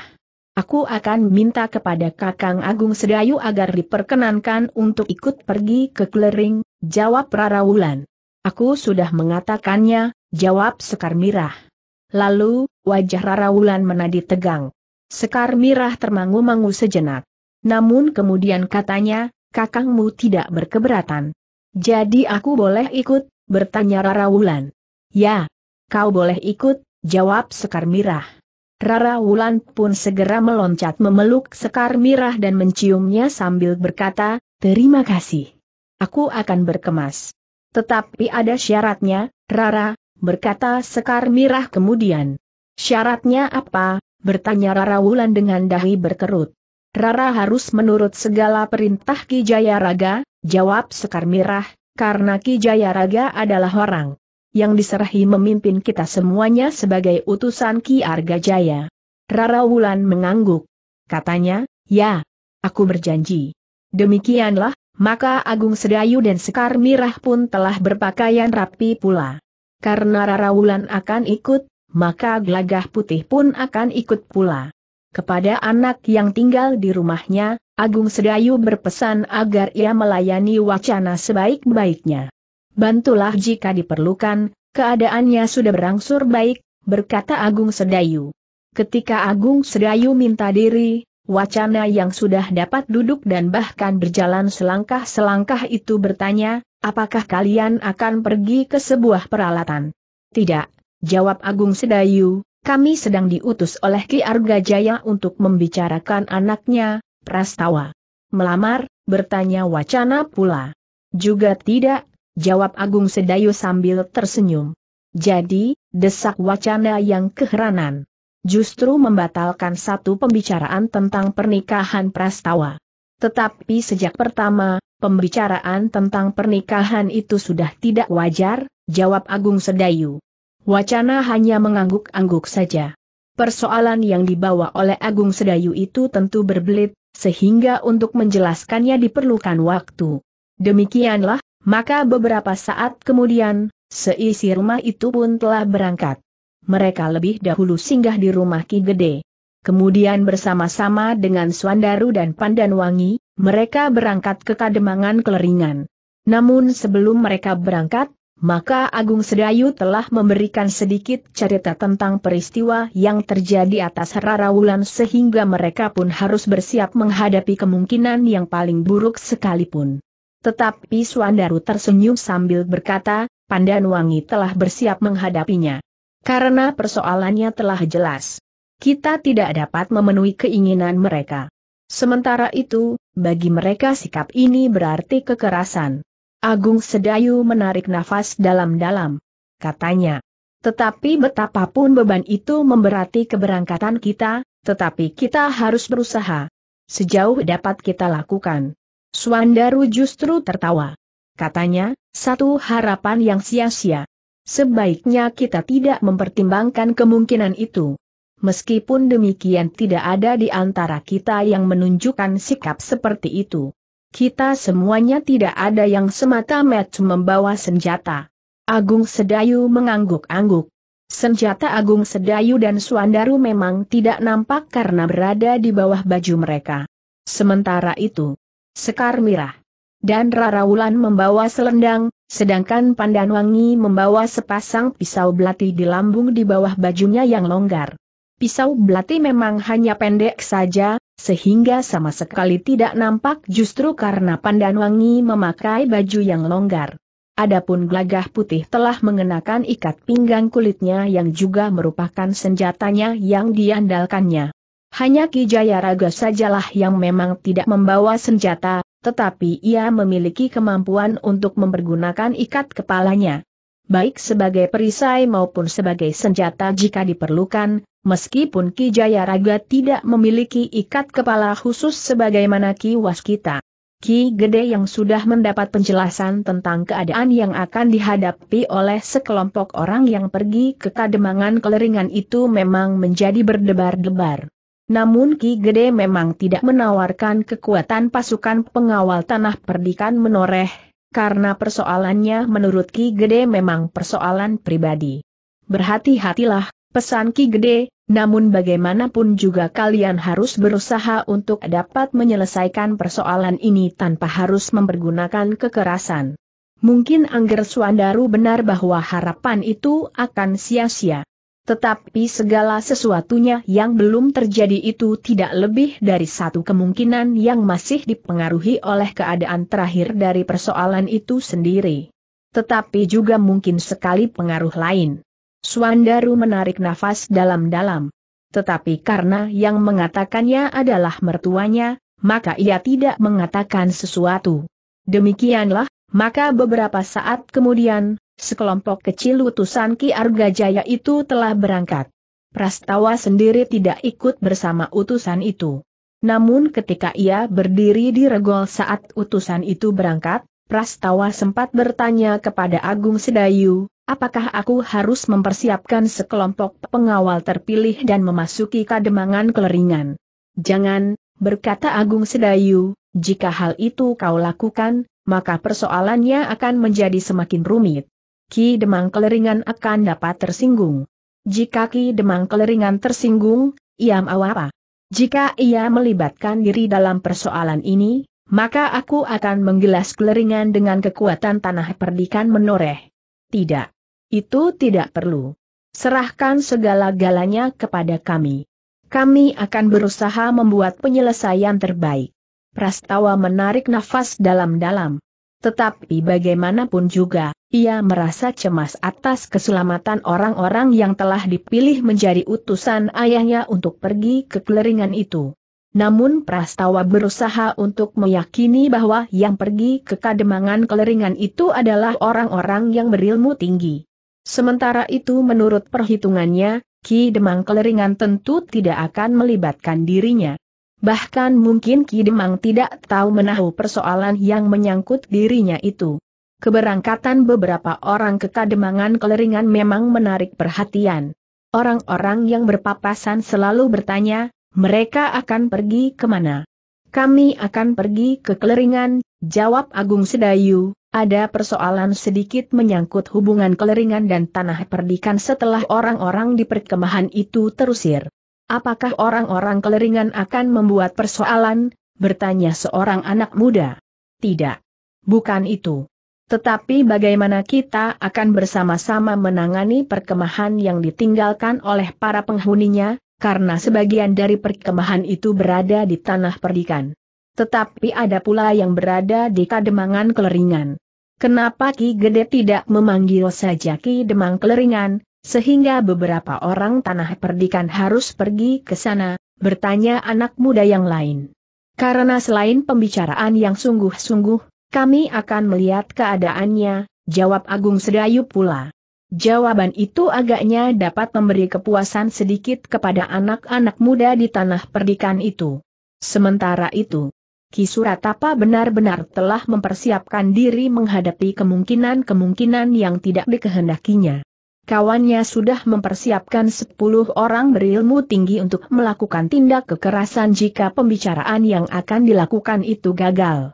Dengan kesadaran bahwa di tanah perdikan ada orang-orang yang berilmu tinggi, maka sepuluh orang yang dipilih adalah orang-orang yang menurut perhitungan mereka adalah orang-orang yang tidak terkalahkan. Mereka bukan sekelompok orang dari satu perguruan tetapi kawan Ki Suratapa itu telah membawa orang-orang terbaik dari tiga perguruan yang lain. Seandainya yang datang sebagai utusan Ki Argajaya itu berjumlah 20 orang sekalipun, maka kami tentu akan dapat mengatasinya, berkata kawan Ki Suratapa itu. Aku dan Suradipa tentu tidak hanya akan tinggal diam, berkata Ki Suratapa, hanya Suracala sajalah yang tidak dapat kami harapkan. Wiradadi dan kedua orang kawannya, yang tadi siang sudah harus menghalau sekelompok orang dari tanah perdikan tentu masih mendendam. Kalian tidak perlu turut campur, berkata kawan Ki Suradipa itu, namun katanya selanjutnya, kecuali jika kalian sendiri menginginkan untuk membalas dendam dengan tangan kalian sendiri. Ya, jawab Suratapa, Wiradadi tentu ingin menangkap orang yang siang tadi telah memperlakukannya dengan kasar atau salah seorang dari mereka, jika nanti ikut datang kemari. Kawan Ki Suratapa itu mengangguk-angguk. Katanya, kami akan berada di luar padukuhan. Jika kami harus bertindak, maka kami akan lebih bebas melakukannya. Karena itu maka apa pun yang harus kami lakukan, kau harus mengirimkan orangmu menemui kami di bulak di luar padukuhan. Sekali lagi aku ingatkan meskipun kalian sudah mengerti, bahwa di tanah perdikan banyak terdapat orang berilmu tinggi. Ya, tetapi kami sudah siap. Meskipun demikian, kami tetap ragu-ragu bahwa Ki Gede akan membantu adiknya yang telah mengkhianatinya. Meskipun demikian, aku pun ingin mengingatkanmu, bahwa kami tidak bertanggung jawab jika tanah perdikan langsung melibatkan pasukan pengawalnya. Menurut perhitunganku, hal itu tidak mungkin dilakukan, jawab Ki Suratapa. Baiklah. Adapun yang akan terjadi kemudian adalah tanggung jawabmu Suratapa. Tetapi jangan cemaskan tentang orang-orang yang bakal datang sore ini. Dengan demikian, maka sepuluh orang yang sudah dipersiapkan itu telah mengambil tempat di luar padukuhan. Mereka berada di Pategalan. Namun dua orang di antara mereka duduk di pinggir jalan untuk melihat siapa saja yang bakal datang ke rumah Ki Suracala. Ketika matahari menjadi semakin rendah di sisi barat, maka seorang yang ditugaskan oleh Ki Suratapa untuk melihat-lihat keadaan dengan bergegas lewat jalan bulak yang menuju ke padukuhan itu. Ketika kedua orang yang menunggu itu melihatnya, maka orang itu pun dihentikannya. Apakah mereka sudah datang? Bertanya salah seorang dari mereka. Ya, aku sudah melihat mereka, jawab orang itu. Berapa orang? Belum jelas. Tetapi kurang dari sepuluh. Separuh dari mereka adalah perempuan, jawab orang itu. Perempuan. Ya. Mereka nampaknya utusan resmi Ki Arga Jaya. Menilik pakaiannya mereka seperti orang yang sedang pergi melamar. Resmi sekali. Licik. Ki Argajaya bersembunyi di belakang punggung perempuan. Tadi pagi ia mengutus anak-anak. Bahkan seorang di antaranya juga perempuan. Agaknya ia tidak mempunyai cara yang lebih jantan untuk membuat penyelesaian masalahnya. Sudahlah, berkata orang itu, aku akan menyampaikan kabar ini kepada Ki Suratapa. Kedua orang itu tidak mencegahnya, sehingga orang itu pun segera berlari-lari kecil menuju ke padukuhan. Kedua orang itu pun segera memberitahukan kedatangan orang-orang tanah perdikan itu kepada kawan-kawannya. Mereka memang menjadi sangat kecewa, bahkan ada yang mengumpat-umpat ketika mereka tahu bahwa yang datang separuh di antaranya adalah perempuan, sehingga dengan demikian, maka kemungkinan terjadinya kekerasan menjadi kecil. Aku sudah kehilangan banyak waktu. Tetapi jika tidak terjadi apa-apa di sini, lalu waktu yang hilang itu benar-benar tidak berarti lagi. Kita masih menunggu. Jika perlu, maka perempuan-perempuan itu justru akan dapat menjadi bahan taruhan jika Ki Argajaya menjadi keras kepala. Orang-orang itu mengangguk-angguk. Tetapi seorang yang berkumis lebat berkata dengan suaranya yang mengguntur, sudah aku katakan, bahwa aku akan berbuat apa saja menurut kehendakku. Jika mereka membawa perempuan kepadaku, itu salah mereka. Apa pun yang dapat kita lakukan, tetapi kita masih tetap terikat pada tugas yang sudah kita bicarakan dengan surat apa. Karena itu, maka kita harus menunggu, apa saja yang dapat kita lakukan atas orang-orang yang datang ke padukuhan itu. Jika aku berbuat atas tanggung jawabku sendiri, maka tidak seorang pun yang mampu mencegah aku, jawab orang berkumis lebat itu. Kau dapat melakukannya setelah tugas pokok kita selesai. Ingat, yang menentukan adalah surat apa. Orang itu tidak menjawab. Sementara orang yang berkepala botak berkata, kita lihat, siapa saja yang lewat. Jika kita semuanya turun ke jalan, maka mereka tentu akan membuat perhitungan tentang kehadiran kita tetapi mereka sudah ada di sini. Mereka tidak dapat berbuat apa-apa. Jika mereka akan kembali, kita justru akan menggiring mereka, agar mereka berjalan terus. Ternyata yang lain pun sependapat. Karena itu, maka sepuluh orang itu pun telah pergi ke pinggir jalan. Namun mereka masih juga berusaha untuk tidak semata-mata berkumpul sepuluh orang. Tetapi mereka berusaha untuk menebar. Sebenarnya lah, beberapa saat kemudian, maka lewat sebuah iring-iringan kecil. Mereka adalah Ki Jaya Raga, Agung Sedayu, Suandaru, Gelagah Putih, Sekar Mirah, Pandan Wangi dan Rara Wulan.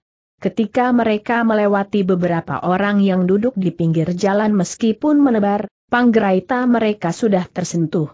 Nampaknya orang-orang yang duduk di pinggir jalan itu bukan para petani yang memiliki kotak-kotak sawah di sebelah menyebelah jalan itu.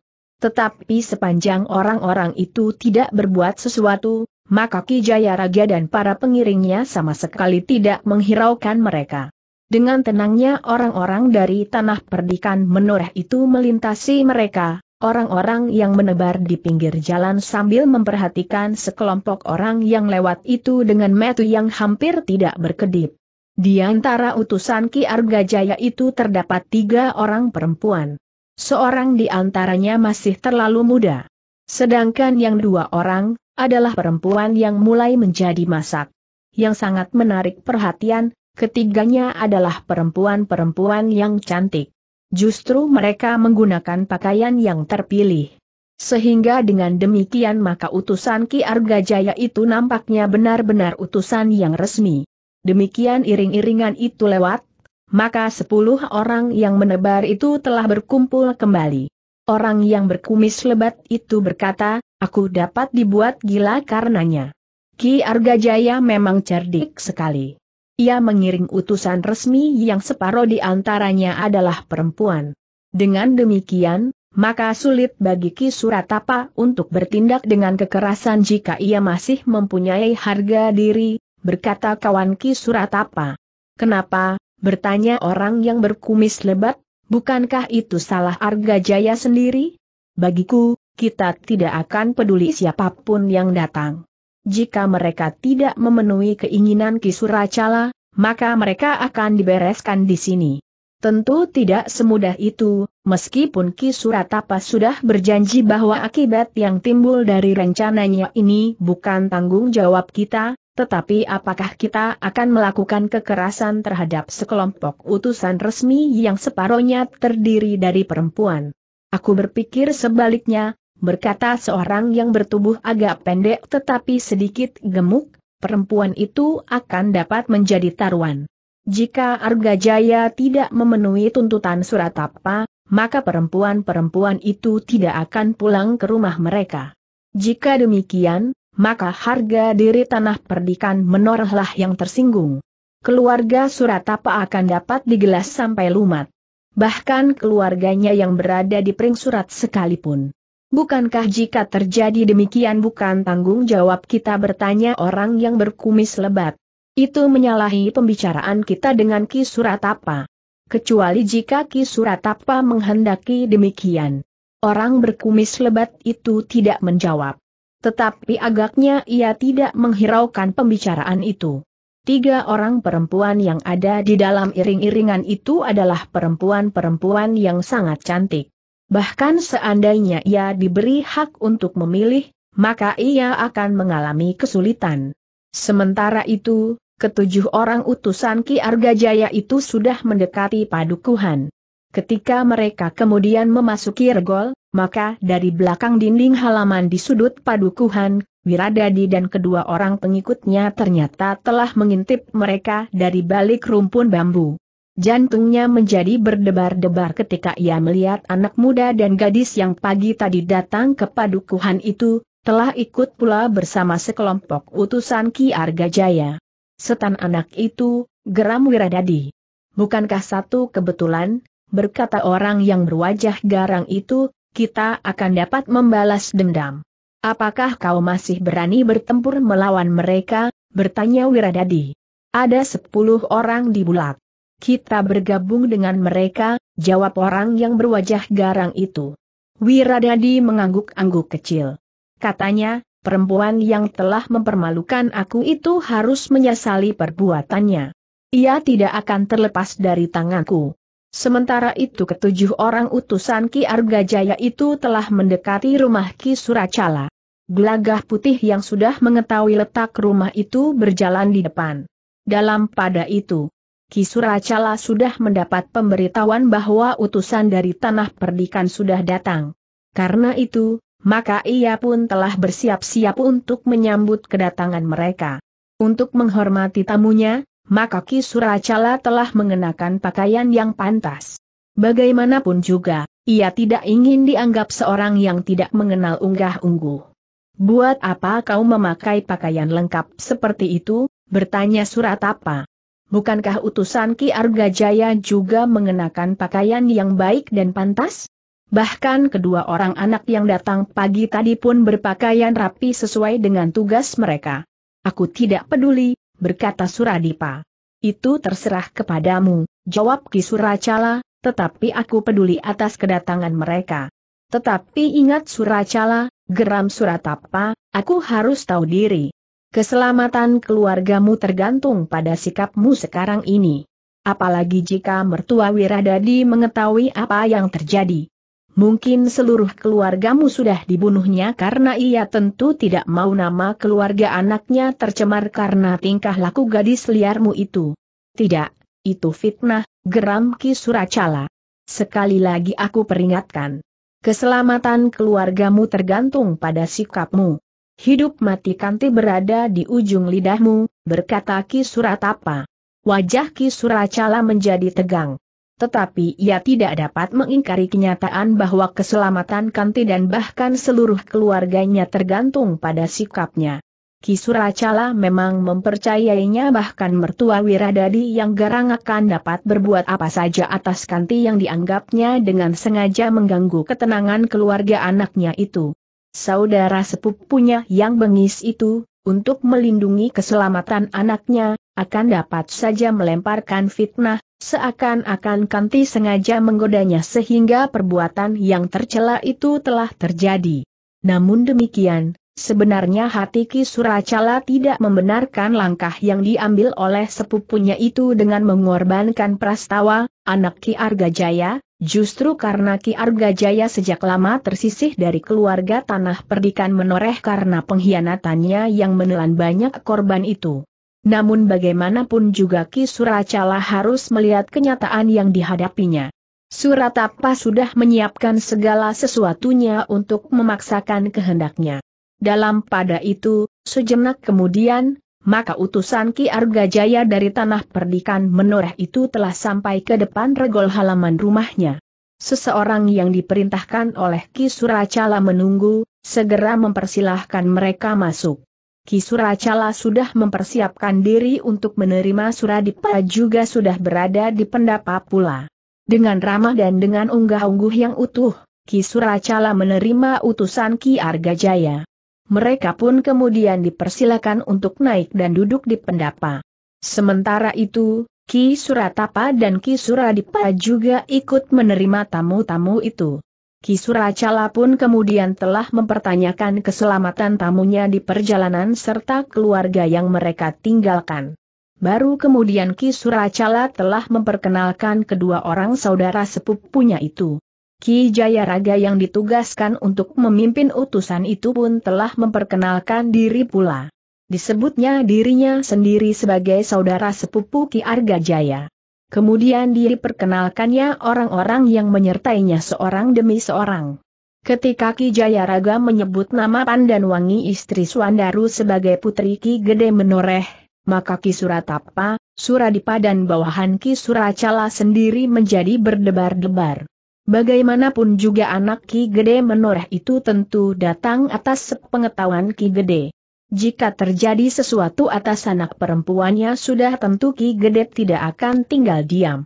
Ki Suratapa sudah mulai merasa bahwa perhitungannya tidak seluruhnya benar.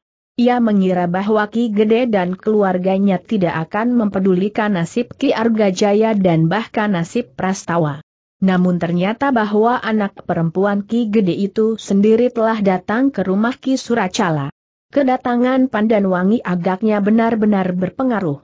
Bagaimanapun juga mereka harus memperhitungkan sikap Ki Gede di belakang utusan yang datang itu.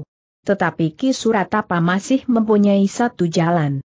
Mengungkit harga diri keluarga Ki Arga Jaya, sehingga tidak berlindung di bawah kekuatan tanah perdikan menoreh, karena persoalannya sangat terbatas pada persoalan pribadi dan harga diri sebuah keluarga. Beberapa saat Ki Suracala masih belum menyinggung persoalan yang sebenarnya. Ia masih saja berbicara tentang berbagai hal di tanah perikan dan di kademangan keleringan.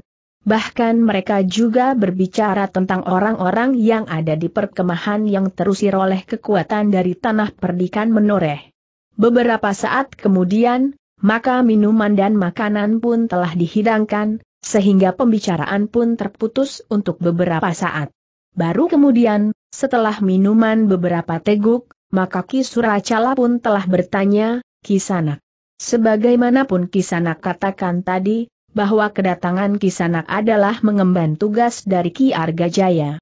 Nah, barangkali Kisanak dapat menguraikan pesan dari Ki Argajaya itu. Ki Jayaraga yang rambutnya sudah ubanan itu mengangguk-angguk kecil. Namun kemudian katanya, Ki Suracala. Kami sudah menerima pesan-pesan Ki Suracala.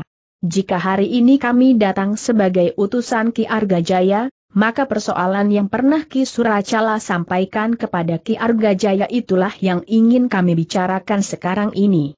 Sebelum Ki Suracala menjawab, maka Ki Suratapa sudah menyahut, lalu, kapan Ki Argajaya akan menyelenggarakan pernikahan itu? Tetapi tidak terlalu lama lagi, karena keadaan Kanti sudah tidak memungkinkan lagi untuk bersembunyi lebih lama. Maaf, Ki Suratapa, jawab Ki Jaya Raga, bukan maksud kami menunda-nunda persoalan. Tetapi sebagaimana waktu yang ditetapkan oleh Ki Suracala sendiri. Bahkan masih tersisa satu hari lagi. Ya, memang masih ada waktu, sahut Ki Suracala. Tetapi Ki Suradipa segera memotong, tugas Ki. Sanak tinggal menyampaikan keputusan Ki Argajaya. Kapan ia akan melangsungkan pernikahan Kanti dengan Prastawa? Bukankah tinggal menyebut hari, pasaran dan tanggal? Kenapa ragu-ragu? Ternyata orang berwajah garang itu memang licik. Sementara Ki Jayaraga belum menjawab, Ki Suradipa sudah mendahului, tentu saja semakin cepat akan menjadi semakin baik. Ki Jayaraga menarik nafas dalam-dalam. Namun ia pun mengangguk pula sambil menjawab, ya. Semakin cepat persoalan ini selesai, tentu semakin baik. Ki Suradipa mengangguk-angguk sambil berkata, bagus. Jika demikian, sebut saja, kapan Ki Argajaya akan menyelenggarakan pernikahan anaknya. Nanti setelah persoalan pokok yang kita bicarakan selesai, kita dapat berbicara tentang apa saja mungkin tentang pelaksanaannya atau tentang hal-hal lain yang bersangkut paut dengan pernikahan itu. Bahaya, misalnya. Ki Jayaraga mengangguk-angguk. Katanya yang ditujukan kepada Ki Suracala, maaf. Ki Suracala. Sebelumnya, baiklah aku menyampaikan pesan Ki Argajaya lebih dahulu. Bukan tentang hari-hari pernikahan, tetapi tentang kebenaran persoalan itu sendiri. Cukup, potong Ki Suratapa, sudah aku katakan bahwa kami hanya mau mendengar pesan Ki Argajaya tentang saat pernikahan. Yang lain tidak. Tentu kita akan sampai kepada persoalan pernikahannya itu sendiri. Tetapi bukankah pernikahan itu bukan satu persoalan yang berdiri sendiri, berkata Ki Jaya Raga. Lalu katanya pula, karena itu maka jika kita berbicara tentang pernikahan itu, maka kita tentu akan berbicara tentang hal-hal yang bersangkutan dengan pernikahan itu sendiri. Misalnya siapa orangnya, bagaimana sikap keluarganya dan kenapa pernikahan itu harus berlangsung. Tanpa kejelasan tentang hal itu, maka pernikahan itu akan menjadi kabur. Siapa yang akan menikah, apakah orang tuanya sependapat atau apakah kedua orang yang akan menikah itu sudah setuju atau bahkan menolak. Jangan berputar-putar Ki Jaya Raga, berkata Ki Suradipa, kami tidak mempunyai minat untuk berbicara tentang hal-hal yang lain kecuali pernikahan itu sendiri. Tetapi bukankah harus dijelaskan, siapa yang akan menikah dengan siapa? Tentu bukan aku. Itu sudah jelas. Jangan mengada-ada. Yang menikah adalah Prastawa dengan Kanti mereka harus menikah karena hubungan mereka telah melampaui batas sehingga Kanti mengandung. Sementara itu, hubungan antara keduanya semula sudah direstui oleh orang tuanya. Nah, apalagi, berkata Ki Suratapa. Itulah yang ingin kami cocokkan, jawab Ki Jaya Raga, bukan karena kami tidak mempercayainya, tetapi mungkin ada kekeliruan atau salah paham. Menurut pengakuan Prastawa, ia sama sekali tidak pernah berhubungan dengan Konti dalam pengertian yang menyebabkannya mengandung. Prastawa mengaku bahwa ia kenal baik dan akrab dengan Kanti. Tetapi tidak lebih dari persahabatan biasa. Apalagi sampai melakukan pelanggaran seperti yang dimaksudkan. Siapa yang mengatakan itu? Bertanya Ki Suradipa. Prastawa sendiri, jawab Ki Jaya Raga. Kami sudah menduga bahwa Prastawa yang licik itu tidak akan berani mempertanggungjawabkan perbuatannya. Itulah sebabnya kami harus mempergunakan care yang khusus untuk memaksa Prastawa berani bertanggung jawab, geram Suradipa. Soalnya bukan tidak berani bertanggung jawab, tetapi Prastawa tidak melakukannya, berkata Ki Jaya Raga, hal itu berkali-kali dikatakannya. baik di hadapan ayahnya, Ki Argajaya, maupun di hadapan Ki Gede Menoreh. Ia berbohong, apakah kalian akan melindungi seorang pengecut yang berbohong? Bertanya Ki Suratapa. Ki Suracala, berkata Ki Jayaraga kepada Ki Suracala, Ki Suracala adalah ayah gadis yang mengandung itu. Kami mengusulkan, agar Prastawa dan Kanti dipertemukan di hadapan orang-orang tua yang berpengaruh dari kedua belah pihak. Biarlah keduanya berbicara dengan jujur. Apakah Prastawa memang bersalah? Tidak, Ki Suratapa hampir berteriak, tidak ada gunanya. Prastawa tentu tetap berbohong. Kebohongan yang mantap tentu akan memberikan kesan bersungguh-sungguh. Dan itu akan dapat dilakukan oleh Prastawa. Tetapi kita harus berusaha untuk sampai pada satu kebenaran. Jika keduanya berbicara sendiri-sendiri, maka tidak akan pemah dapat dicari kenyataan yang sebenarnya terjadi, berkata Ki Jaya Raga. Tidak. Aku sudah mengatakan tidak. Aku hanya ingin ketetapan waktu pernikahan itu saja, garam Ki Suratapa. Tetapi bukankah Ayah Kanti adalah Ki Suracala? Bertanya Ki Jaya Raga. Wajah Ki Suratapa dan Ki Suradipa menjadi merah. Sementara itu Ki Suracala menjadi seagak gelisah. Namun Ki Suratapa itu pun berkata, aku tidak mau banyak berbicara lagi. Waktu yang kami berikan masih tersisa satu hari. Namun karena kalian sudah ada di sini sebagai utusan Ki Argajaya, maka kita akan menetapkan saja hari pernikahan itu dengan janji untuk ditepati oleh kedua belah pihak. Tetapi kami tidak mendapat wewenang untuk itu, jawab Ki Jaya Raga. Kalian menyampaikan keputusan ini kepada Ki Argajaya. Biarlah Ki Argajaya mematuhinya. Ki Jaya Raga menarik nafas dalam-dalam. Namun kemudian ia berpaling kepada Pandanwangi sambil berkata, apakah menurut pendapat Angger Pandanwangi, kita dapat bertindak sebagaimana dikatakan oleh Ki Suratapa. Pandanwangi menggeleng lemah. Sementara itu, Suandaru duduk dengan sangat gelisah, ia sudah mulai tidak telaten dengan pembicaraan yang berkepanjangan itu. Tidak, Ki Jaya Raga, berkata Pandanwangi kemudian, wewenang yang ada pada kami adalah menyampaikan kebenaran itu. Ki Jayaraga menarik nafas dalam-dalam. Lalu katanya pula, nah, kau dengar. Angger Pandanwangi adalah anak perempuan Ki Gede.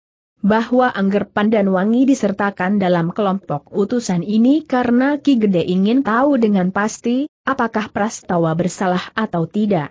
Jika Prastawa memang bersalah, maka Ki Gede sendiri akan mengambil tindakan. Tetapi jika tidak, maka Prastawa akan mendapat perlindungan. Persoalan ini adalah persoalan Ki Suracala dengan Ki Argajaya. Tentu saja Ki Gede dapat mengerahkan pasukannya untuk memaksakan kehendaknya. Tetapi itu adalah sikap yang sangat licik. Ia telah menyalahgunakan kekuasaannya untuk melindungi kesalahan kemanakannya. Tidak. Ki Gede belum memutuskan untuk melindungi Prastawa.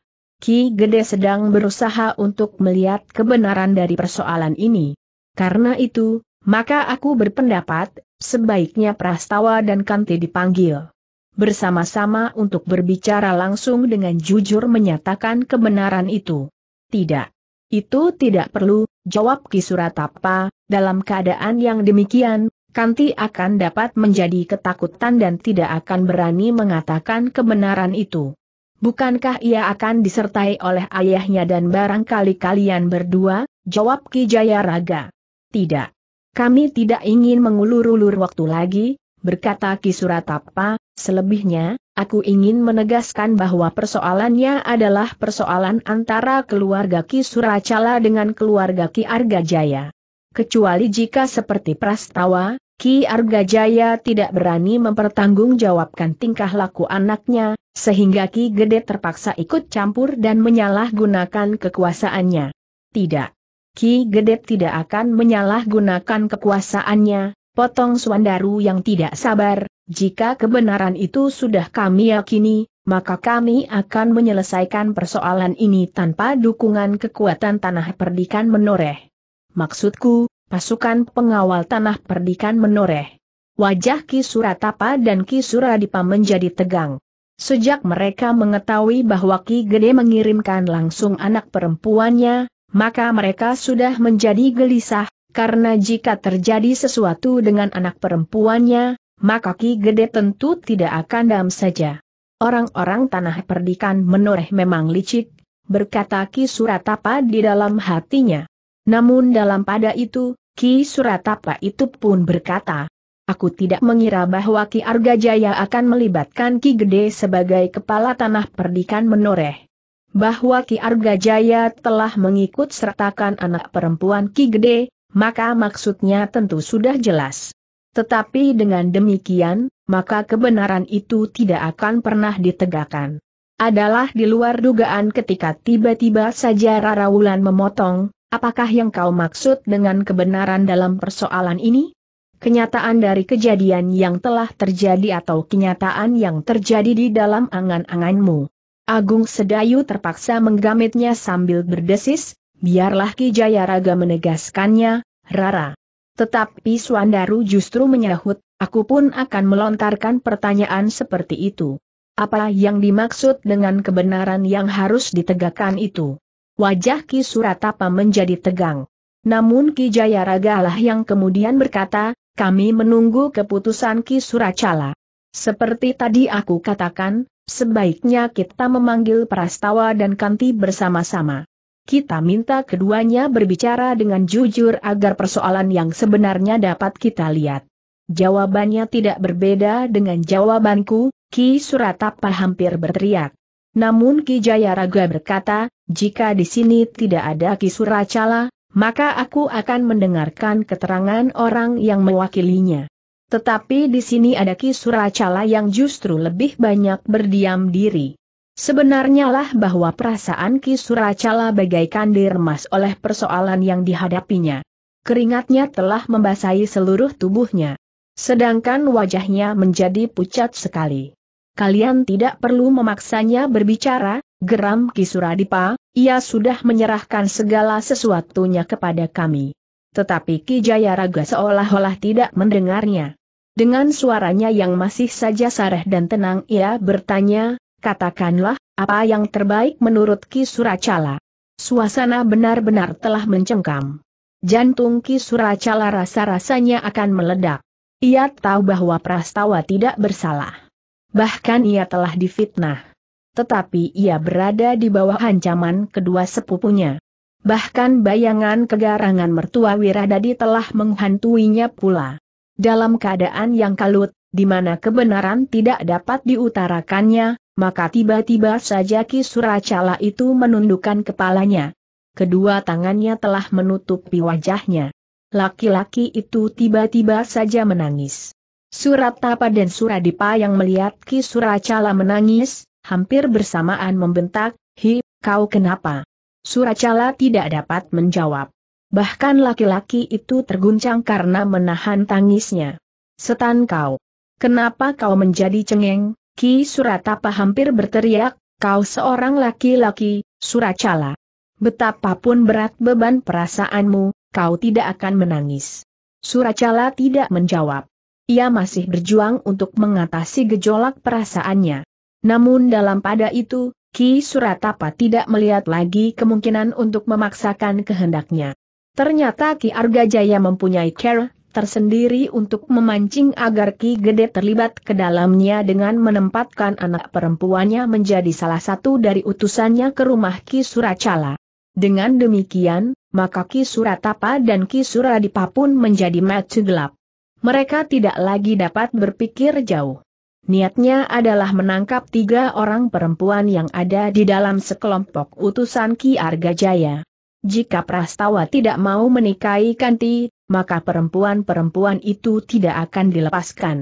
Tetapi jika Ki Gede melibatkan diri dengan mengerahkan pasukan pengawal tanah perdikan, maka ketiga perempuan itu akan dibunuh saja. Ancaman itu harus didengar oleh Ki Argajaya dan Ki Gede. Karena itu, maka jika terjadi benturan kekerasan, tidak semua orang dalam sekelompok utusan itu akan dibunuh. Satu dua di antara mereka akan tetap hidup memberitahukan ancaman itu kepada Ki Argajaya dan Ki Gede. Karena itu, maka Ki Suratapa yang sudah menjadi kehilangan akal itu pun berkata, Ki Jaya Raga. Jika kau tidak dapat mengatakan kapan pernikahan itu dilakukan, atau kau tidak mau membicarakannya sekarang, maka pembicaraan selanjutnya tidak ada gunanya. Aku minta kalian meninggalkan tempat ini. Ki Jayaraga mengerutkan dahinya. Ia tidak mengira bahwa akhir dari pembicaraan itu hanya sampai di situ. Ia mengira bahwa akan terjadi benturan kekerasan karena kedua belah pihak sama sekali tidak mau mengalah. Namun ternyata saudara-saudara sepupu Ki Suracala itu hanya mengusirnya saja. Namun sebenarnya lah bahwa pengusiran itu bukan langkah terakhir bagi Suratapa dan Suracala. Mereka masih mempunyai sepuluh orang upahan yang menunggu di bulak. Jika utusan dari tanah perdikan itu lewat di bulak itu, maka mereka akan disergap. Tiga orang perempuan itu akan menjadi tanggungan. Setidak-tidaknya seorang di antara laki-laki dalam kelompok utusan itu harus hidup dan menyampaikan pesan Ki Suratapa kepada Ki Argajaya dan Ki Gede Menoreh. Karena persoalannya tidak lagi dapat dibicarakan, maka Ki Jayaraga pun menganggap bahwa tidak ada gunanya untuk berbicara lebih jauh. Ki Jayaraga menganggap bahwa dengan demikian, maka Prastawa telah bebas dari tuntutan mereka. Atau akan ada utusan lagi dari keluarga Ki Suracala yang akan menyampaikan syarat-syarat pembicaraan yang baru. Namun demikian, penggerai Taki Jaya Raga, bahkan semua orang dalam kelompok utusan itu tidak yakin, bahwa Ki Suratapa benar-benar akan melepaskan mereka begitu saja. Apalagi mereka mengetahui bahwa gelagah putih dan Rarawulan pun telah dicegat di tengah bulak pula, sehingga peristiwa buruk itu akan dapat terulang. Meskipun demikian, maka Ki Jayaraga itu pun berkata, baiklah Ki Suracala. Jika Ki Suracala sama sekali tidak dapat memberikan jawaban, sementara itu Ki Suratapa dan Ki Suradipa menganggap bahwa pembicaraan selanjutnya sudah tidak perlu, maka kami akan minta diri. Langit sudah mulai buram, sehingga malam akan segera turun. Ki Suracala benar-benar tidak dapat menjawab. Ia tahu benar apa yang akan dilakukan oleh kedua sepupunya atas orang-orang yang datang dari tanah perdikan menoreh jika pembicaraan mereka tidak menemukan titik temu. Namun ia tidak dapat meneriakan hal itu, karena ia tahu bahwa persoalannya akan menyangkut keselamatan Kanti dan keluarganya. Sementara itu, lampu minyak memang sudah dinyatakan di ruangan-ruangan dan di pendapa bahwa oncor pun telah dipasang di regol halaman. Namun dalam pada itu, selagi Ki Jayaraga minta diri, maka tiba-tiba tiga orang berkuda telah memasuki halaman rumah Ki Suracala tanpa turun dari punggung kudanya. Kuda-kuda yang tegar itu pun kemudian telah berhenti di depan pendapa rumah Ki Suracala. Baru kemudian ketiga orang itu meloncat turun dari kuda mereka. Setelah menambatkan kuda-kuda itu pada patok di sisi tangga pendapa, maka ketiga orang itu pun segera naik ke pendapa. Kedatangan ketiga orang itu benar-benar telah mengejutkan Ki Suracala, Ki Suratapa dan Ki Suradipa. Orang itu adalah mertuan Wiradadi yang garang. Orang yang mereka takuti karena mertua Wiradadi adalah orang yang berilmu sangat tinggi. Ketika Ki Suracala, Suratapa dan Suradipa bangkit berdiri menyambut orang yang datang itu, maka Ki Jayaraga dan orang-orang yang datang dari tanah perdikan itu pun telah bangkit pula untuk ikut menghormati mereka, meskipun mereka belum tahu siapakah yang telah datang itu. Betapapun segannya Swandaru pun telah ikut berdiri pula. Kepada gelagah putih ia berbisik, siapakah mereka itu? Gelagah putih menggeleng. Desisnya, aku belum tahu. Swandaru hanya mengangguk-angguk saja. Tetapi ia tidak bertanya lebih jauh. Kami mengucapkan selamat datang, berkata Ki Suratapa. Terima kasih, jawab orang itu. Seorang yang bertubuh tinggi tegap berkumis melintang dan berjambang lebat. Aku sudah tahu semuanya apa yang terjadi di sini, geram orang itu, karena itu aku datang untuk mengambil kanti, perempuan liar yang telah merusakkan rumah tangga anakku. Wajah-wajah mereka yang berdiri di pendapa itu menjadi tegang, termasuk utusan Ki Argajaya. Sementara itu orang itu pun berkata selanjutnya, aku pun ingin bertemu dan berbicara dengan Wiradadi. Aku ingin tahu apakah Wiradadi yang bersalah atau Kanti yang bersalah. Setelah aku tahu dengan pasti, maka aku akan mengambil keputusan. Aku tidak mempunyai belas kasihan kepada siapa pun yang telah menista kehidupan keluarga anakku. Ketegangan telah mencengkam pendapat itu. Ki Suratapa yang berusaha membuat penyelesaian sendiri tanpa setahu ayah mertua Wiradadi ternyata tidak berhasil. Ternyata orang itu sudah mengetahui apa yang terjadi. Namun dalam pada itu, Ki Suratapa itu pun berkata, Kakang Sadana, di sini kami sedang berusaha untuk mencari kebenaran tentang seorang anak muda yang bernama Prastawa. Aku sudah tahu kalian menduga Kanti telah mengandung karena hubungannya dengan Prastawa. Tetapi karena Prastawa tidak mau bertanggung jawab, maka Kanti telah menjebak Wiradadi, sekedar untuk menyandarkan keadaannya yang tidak dapat disembunyikan lagi. Ya Kakang, jawab Suratapa, dengan demikian, maka Prastawalah yang harus bertanggung jawab atas keadaan Kanti sekarang ini. Apa pun yang terjadi dalam hubungan antara Prastawa dan Kanti, aku tidak peduli. Tetapi bahwa Wiradadi sudah terjebak itu merupakan persoalan bagi anak perempuanku dan sudah tentu bagiku, jawab orang yang disebut Sadana itu.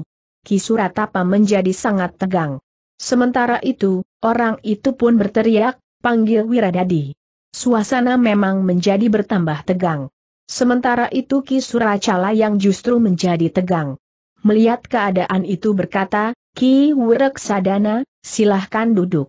Terima kasih. Aku tidak akan lama. Aku hanya akan berbicara dengan Wiradadi sebentar. Kemudian mengambil kanti. Tidak ada seorang pun yang berani membantah. Sementara itu utusan Ki Argajaya hanya dapat menunggu, apakah yang akan terjadi kemudian. Sejenak kemudian, maka Wiradadi pun telah diajak ke pendapat itu pula. Ternyata orang itu telah menjadi gemetar. Wajah mertuanya yang menyala itu membuat darahnya serasa telah membeku. Wiradadi, berkata Ki Sadana, aku sudah tahu semuanya. Di antara orang-orang yang dikumpulkan oleh ayahmu itu, terdapat beberapa di antaranya adalah orang-orangku pula. Jadi kalian tidak dapat membohongi aku kau dan Kanti telah melakukan hubungan terlarang. Aku tidak peduli, apakah sebelumnya tersangkut nama Prastawa. Yang ingin aku tanyakan, apakah kau atau Kanti yang mula-mula memancing sehingga terjadi perbuatan yang tidak pantas itu? Wiradadi memang tergagap. Tetapi otaknya yang licik itu dengan cepat mampu bekerja. Yang kemudian dipikirkan oleh Wiradadi adalah justru keselamatannya sendiri. Ia tidak peduli apa yang akan dialami oleh orang lain. Bahkan penderitaan yang paling pahit sekalipun. Karena itu, maka Wiradadi tidak peduli bahwa keterangannya akan dapat mencekik Kanti sekalipun. Karena itu, dengan licin Wiradadi menjawab, ayah tentu dapat membayangkan, apa yang terjadi atas diriku. Di sini, di rumah paman, justru saat Kanti memerlukan jalan keluar. Saat itu aku benar-benar terjebak di dalam biliknya sehingga aku tidak mungkin lagi menghindar. Jadi, kau dalam hal ini tidak bersalah? Kau hanya menjadi korban keliaran kanti, bertanya Ki Sadana. Ya ayah. Aku memang menjadi sangat menyesal bahwa hal itu terjadi, sementara itu aku sangat mencintai istriku. Jika demikian, maka kanti yang pantas dihukum. Ia telah merampok suami orang, justru dengan maksud yang sangat buruk. Bukan karena ia mencintai Wiradadi, apalagi cinta yang mendapat tanggapan. Tentu ayah. Aku sama sekali tidak tertarik pada Kanti. Saat itu aku tidak menduga sama sekali bahwa aku telah dijebaknya dalam biliknya, justru karena ia masih saudaraku justru pada garis ketiga garis terlarang bagi seseorang untuk berumah tangga seandainya kami saling mencintai sekalipun. Bagus. Jika demikian hati istrimu akan menjadi tenteram. Tetapi dengan demikian, bawa Kanti kemari. Aku akan membawanya, ia harus mendapatkan hukuman langsung dari istri Wiradadi. Tidak, Tiba-tiba saja Suracala menjadi tegar, aku akan mempertahankan anakku. Ia tidak bersalah. Ketika Kanti dalam keadaan putus asa karena isyarat yang diberikan oleh Prastawa, bahwa Prastawa tidak mencintainya, maka Wiradadi itu datang kemari. Ia memanfaatkan kekosongan di hati Kanti. Diam, bentak Werksadana, aku tidak bertanya kepadamu. Tetapi aku ayah Kanti, jawab Suracala. Aku tidak peduli. Jika kau berkeras mempertahankan anakmu, maka kau pun akan aku anggap ikut bersalah. Kau tentu telah membantu anakmu, menjebak Wiradadi. Bohong, tiba-tiba saja Raraulan yang tidak dapat menahan diri berteriak, Wiradadi bohong. Aku tahu, bahwa wataknya tidak lebih baik dari seekor serigala. Kanti baginya tidak lebih dari seekor kelinci. Apalagi dalam keadaan putus asa. Siapa kau? bertanya Sadana. Aku adalah salah seorang antara gadis-gadis yang mengalami perlakuan kasar Wiradadi. Untunglah aku dapat mempertahankan kehormatan dan memaksanya berlutut dan mohon ampun kepadaku, teriak Rarawulan. Wajah Ki Sadana menjadi tegang, sementara wajah Wiradadi menjadi merah. Dengan suara lantang Ki Sadana berkata, gadis gila. Kenapa kau turut campur? Aku tahu, kau tentu salah seorang dari keluarga Prastawa. Kau datang membawa fitnah atas menantu Wiradadi. Tidak. Kaulah yang tidak jujur dalam persoalan ini. Pertanyaan-pertanyaan yang kau berikan kepada Wiradadi sama sekali tidak berarti. Kau kira orang lain tidak tahu bahwa apa yang kau lakukan tidak lebih dari satu pagelaran lelucon buat memberikan kesan bahwa Wiradadi tidak bersalah. Aku, Ki Suracala, Kanti, bahkan semua orang tahu bahwa sebenarnya kau tidak mencari kebenaran. Tetapi kau ingin seakan-akan kau sudah bertindak adil di hadapan banyak orang. Tutup mulutmu, bentak Ki Sadana. Tetapi Suandaru telah menyela, teruskan Rara. Berkatalah terus. Aku senang mendengarnya. Sebenarnya Rara Wulan pun berkata selanjutnya, pertanyaan-pertanyaanmu dan jawaban-jawaban Wiradadi juga kau gunakan untuk mengangkat harga diri anak perempuanmu, bahwa seolah-olah suaminya tidak pernah berpaling kepada perempuan lain. Tetapi sebenarnya lah menantumu adalah seorang laki-laki yang lebih ganas dari serigala lapar. Kau kira orang lain dapat mempercayai kata-katamu, teriak Suratapa, bagaimana mungkin kau dapat membebaskan diri dari Wiradadi seandainya ia benar-benar mengingininya. Apalagi memaksanya berlutut dan mohon ampun kepadamu. Baru tadi siang hal itu terjadi. Ketika aku pulang dari rumah ini. Wiradadi dan dua orang pengikutnya telah mencegat kami di Pategalan dan berusaha menyeretku masuk ke dalam gubuk. Tetapi ternyata kemampuannya tidak lebih dari kemampuan anak-anak yang baru dapat berjalan selangkah-selangkah. Gila! Kenapa kau dapat membuat demikian kasarnya di hadapan kami, teriak Ki. Aku tidak membuat. Jika kalian ingin membuktikan, Aku tantang sekarang Wiradadi berkelahi di halaman ini. Kalian akan menjadi saksi, siapakah yang menang dan siapakah yang kalah, Rarawulan pun berteriak pula. Wajah Wiradadi menjadi pucat. Untunglah bahwa cahaya lampu minyak yang kekuning-kuningan telah menyaput wajah itu sehingga Ki Suratapa tidak dengan segera melihatnya. Dalam ketegangan itu, Ki Sadana pun berkata, perempuan itu mencoba mengalihkan persoalan yang sebenarnya. Ki Suratapa, aku minta kau selesaikan perempuan ini. Sekarang aku minta agar Kanti dibawa kemari. Aku memerlukannya. Ia harus datang menemui anak perempuanku, minta ampun dan menerima hukuman apa pun yang akan diberikan oleh anak perempuanku itu, sehingga untuk selanjutnya Kanti tidak akan pernah dapat merampok suami orang lain lagi. Tidak, Jawab Ki Suracala, Kanti tidak akan dibawa ke mana-mana oleh siapa pun. Ki Suracala, kau tidak dapat menolaknya. Anakmu memang harus mendapat hukuman karena kesalahannya. Rara Wulanlah yang berteriak lebih keras lagi, Kanti tidak bersalah, kau dengar. Kanti tidak bersalah. Ki Sadana akhirnya kehabisan kesabaran. Dengan garangnya ia berkata kepada Kisuratapa, usir perempuan itu. Jika yang lain mencoba menghalanginya, selesaikan saja mereka. Kisuratapa memang menjadi bingung. Orang-orangnya tidak ada di halaman rumah itu, tetapi mereka menunggu di bulak. Ki Sadana melihat kebimbangan itu. Dengan lantang ia berkata, orang-orangmu ada di sini. Aku membawa mereka kemari.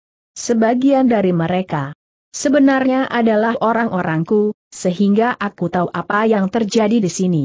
Juga tentang utusan orang-orang tanah perdikan menoreh. Sebenarnya aku tidak ingin berurusan dengan mereka. Aku hanya ingin membawa Kanti. Tetapi jika mereka sengaja melibatkan diri, apa boleh buat? Ki Wurek Sadana, berkata Ki Suracala, apa yang dikatakan Angger Wulan adalah benar. Kau tentu hanya sekedar ingin menyelamatkan perkawinan anakmu dengan Wiradadi. Kau ingin memberikan kesan bahwa Wiradadi tidak bersalah, meskipun bagimu itu hanya sekedar pura-pura. Aku tidak peduli kepura-puraanmu, Ki Sadana. Tetapi kau tidak perlu mengorbankan orang lain. Kau tidak perlu mengorbankan Kanti yang sudah terlalu banyak menderita itu. Jika aku terlibat dalam kecurangan ini terhadap Ki Argajaya. Karena aku sampai sesaat tadi, masih takut mati. Tetapi sekarang tidak. Aku sudah tidak takut lagi menghadapi kematian itu lagi. Aku sependapat dengan saudara-saudaraku dari tanah perdikan menoreh, bahwa kita harus menemukan kebenaran sekarang ini. Bukan fitnah dan bukan kebohongan serta kepura-puraan lagi. Jantung Ki Sadana bagaikan membara. Terdengar ia memberikan isyarat dengan sebuah suita nyaring. Sebenarnya lah bahwa orang-orang yang berada di bulak itu telah berada di luar gol halaman, sehingga sejenak kemudian mereka sudah memasuki halaman. Aku tidak mempunyai pilihan lain, geram Ki Sadana, aku akan membawa Kanti dengan kekerasan. Siapa yang mencoba menghalangi, akan dihancurkan. Jika terjadi kematian, sama sekali bukan. Tanggung jawab kami, karena kami sudah memperingatkan sebelumnya. Jadi tanggung jawab siapa? Bertanya Swandaru. Namun Ki Suracala justru melangkah maju sambil berkata lantang, aku tidak akan menyerahkan Kanti. Apa pun yang terjadi, aku akan mempertahankannya. Ia adalah anakku. Karena itu, maka harganya sama dengan nyawaku. Setan kau Suracala. Agaknya kau memang ingin mati. Seharusnya kau biarkan anak perempuan yang liar mendapat hukuman. Tetapi kau justru melindunginya. Apakah ia liar, apakah ia gila atau apakah ia sampah sekalipun, tetapi ia adalah anakku, jawab Ki Suracala. Ki Sadana tidak sabar lagi. Ia pun memberi isyarat kepada kedua orangnya dan orang-orang yang baru datang itu sambil berteriak, kita selesaikan orang-orang yang mencoba menghalangi rencanaku. Permana, tiba-tiba terdengar suara Ki Jaya Raga, sampai rambutmu ubanan, ternyata kau masih liar dan ganas. Jika kau berbicara tentang konti yang kau anggap gadis yang liar, bagaimana dengan dirimu sendiri? Ki Sadana memandang Ki Jaya Raga dengan mata yang tanpa berkedip. Dengan nada tinggi ia bertanya, siapa kau iblis tua? Apakah kau lupa kepadaku? Memang sudah lama kita tidak bertemu. Mula-mula aku lupa kepadamu. Tetapi setelah kau banyak berbicara dan kemudian kau berniat memaksakan kehendakmu, maka aku segera teringat bahwa yang bernama Sadana itu adalah permana yang tampan, berilmu tinggi dan disukai banyak gadis-gadis cantik. Aku kira anak perempuanmu itu juga cantik, permana. Tetapi sayang, bahwa menantumu mempunyai tabiat yang kurang baik. Kau tentu tahu itu. Tetapi menantumu itu tidak lebih dari sebuah cermin bagimu. Kau dapat melihat wajahmu sendiri di dalamnya, sehingga kau dapat melihat cacat-cacat yang melekat pada dirimu. Tutup mulutmu. Siapa kau? teriak Sadana. Untuk menyenangkan hati anak perempuanmu serta sedikit memulas wajah cerminmu, maka kau melemparkan kesalahan itu kepada Kanti, anak Ki Suracala. Sebenarnya lah bahwa Kanti sudah terlalu menderita dengan peristiwa yang menimpa dirinya. bukan berarti bahwa Kanti tidak bersalah. Menurut pendapatku, Kanti tetap bersalah. Tetapi tentu tidak seberat keputusan yang kau jatuhkan. Karena itu, jika kau akan menghukum, hukumlah Wiradadi. Biarlah Ki Suracala menghukum anaknya yang bersalah. Siapa kau, siapa kau, Sadana berteriak semakin keras. Kau ingat kepada Jaya Raga. Jaya Raga, Ki Sadana mengingat-ingat, Jaya Raga. Jadi kau iblis yang sering berkeliaran di pesisir utara itu. Ki Jaya Raga tersenyum. Katanya, ya permana. Aku memang sering berkeliaran di pesisir utara. Tetapi aku juga berkeliaran sampai ke mana-mana. Gombel, Bawen, Banyu Biru, memutari kaki Gunung Merbabu dan Gunung Merapi. Juga menelusuri Kali Opak dan Kali Praga. Terakhir aku berkeliaran di pegunungan Menoreh. Lalu kenapa kau sekarang berada di sini? Bertanya Ki Sadana. Aku sedang menjadi utusan Ki Argajaya untuk mencari kebenaran tentang anaknya, Prastawa yang dituduh telah melakukan pelanggaran hubungan dengan Kanti. Bagus. Kau sudah tahu bahwa Prastawa tidak berkaitan dengan persoalan Kanti dan anak perempuanku. Karena itu, untuk selanjutnya jangan turut campur urusan kami. Maaf, Permana. Aku sudah terlanjur mendengar ancamanmu, sementara itu, aku tahu bahwa Kanti tidak mutlak bersalah. Karena itu, maka aku tidak akan dapat menutup mata dan telinga. Aku harus ikut menegakkan kebenaran di sini. Setan kau jaya raga. Sejak kapan kau mengenal kebenaran? Permana. Semua muridku mati sebagai orang-orang jahat. Seandainya ada yang masih hidup pun ia jahat pula kecuali satu. Murid yang aku ketemukan setelah pribadinya terbentuk. Nah, karena itu, maka biarlah aku berusaha untuk membersihkan nama perguruanku dengan perbuatan baik di sisa hidupku. Jadi kau benar-benar akan melibatkan diri, bertanya Sadana. Ya, sejak semula hubungan kita memang kurang baik. Seandainya hubungan itu menjadi semakin buruk, apa boleh buat? Ki Jayaraga tidak segera menjawab. Tetapi ia melangkah maju mendekati Ki Sadana, sudah waktunya tingkah lakumu itu kau hentikan. Sadana, coba aku ingin bertanya kepadamu. Jawablah dengan jujur. Buat apa sebenarnya Kanti akan kau bawa? Tentu tidak akan kau serahkan kepada anak perempuanmu. Mungkin memang kau bawa Kanti kepadanya. Kau paksa ia untuk mohon ampun. Tetapi setelah itu, kau kira aku tidak tahu tabiatmu. Setan kau jaya raga. Kau benar-benar iblis yang terkutuk. Kau harus mati sekarang agar kau untuk selanjutnya tidak akan mengganggu aku lagi. Ki Jaya Raga pun segera mempersiapkan diri. Sementara itu kedua orang pengiring Ki Sadana telah bersiap pula. Jangan dipendapa, berkata Ki Jaya Raga, di halaman kita dapat bermain gobak sodor, karena halaman itu cukup luas. Pertemuan antara Ki Jayaraga dan Ki Sadana yang disebut permana itu telah mencengkam suasana. Nampaknya Ki Sadana tidak berkeberatan untuk turun dari pendapa.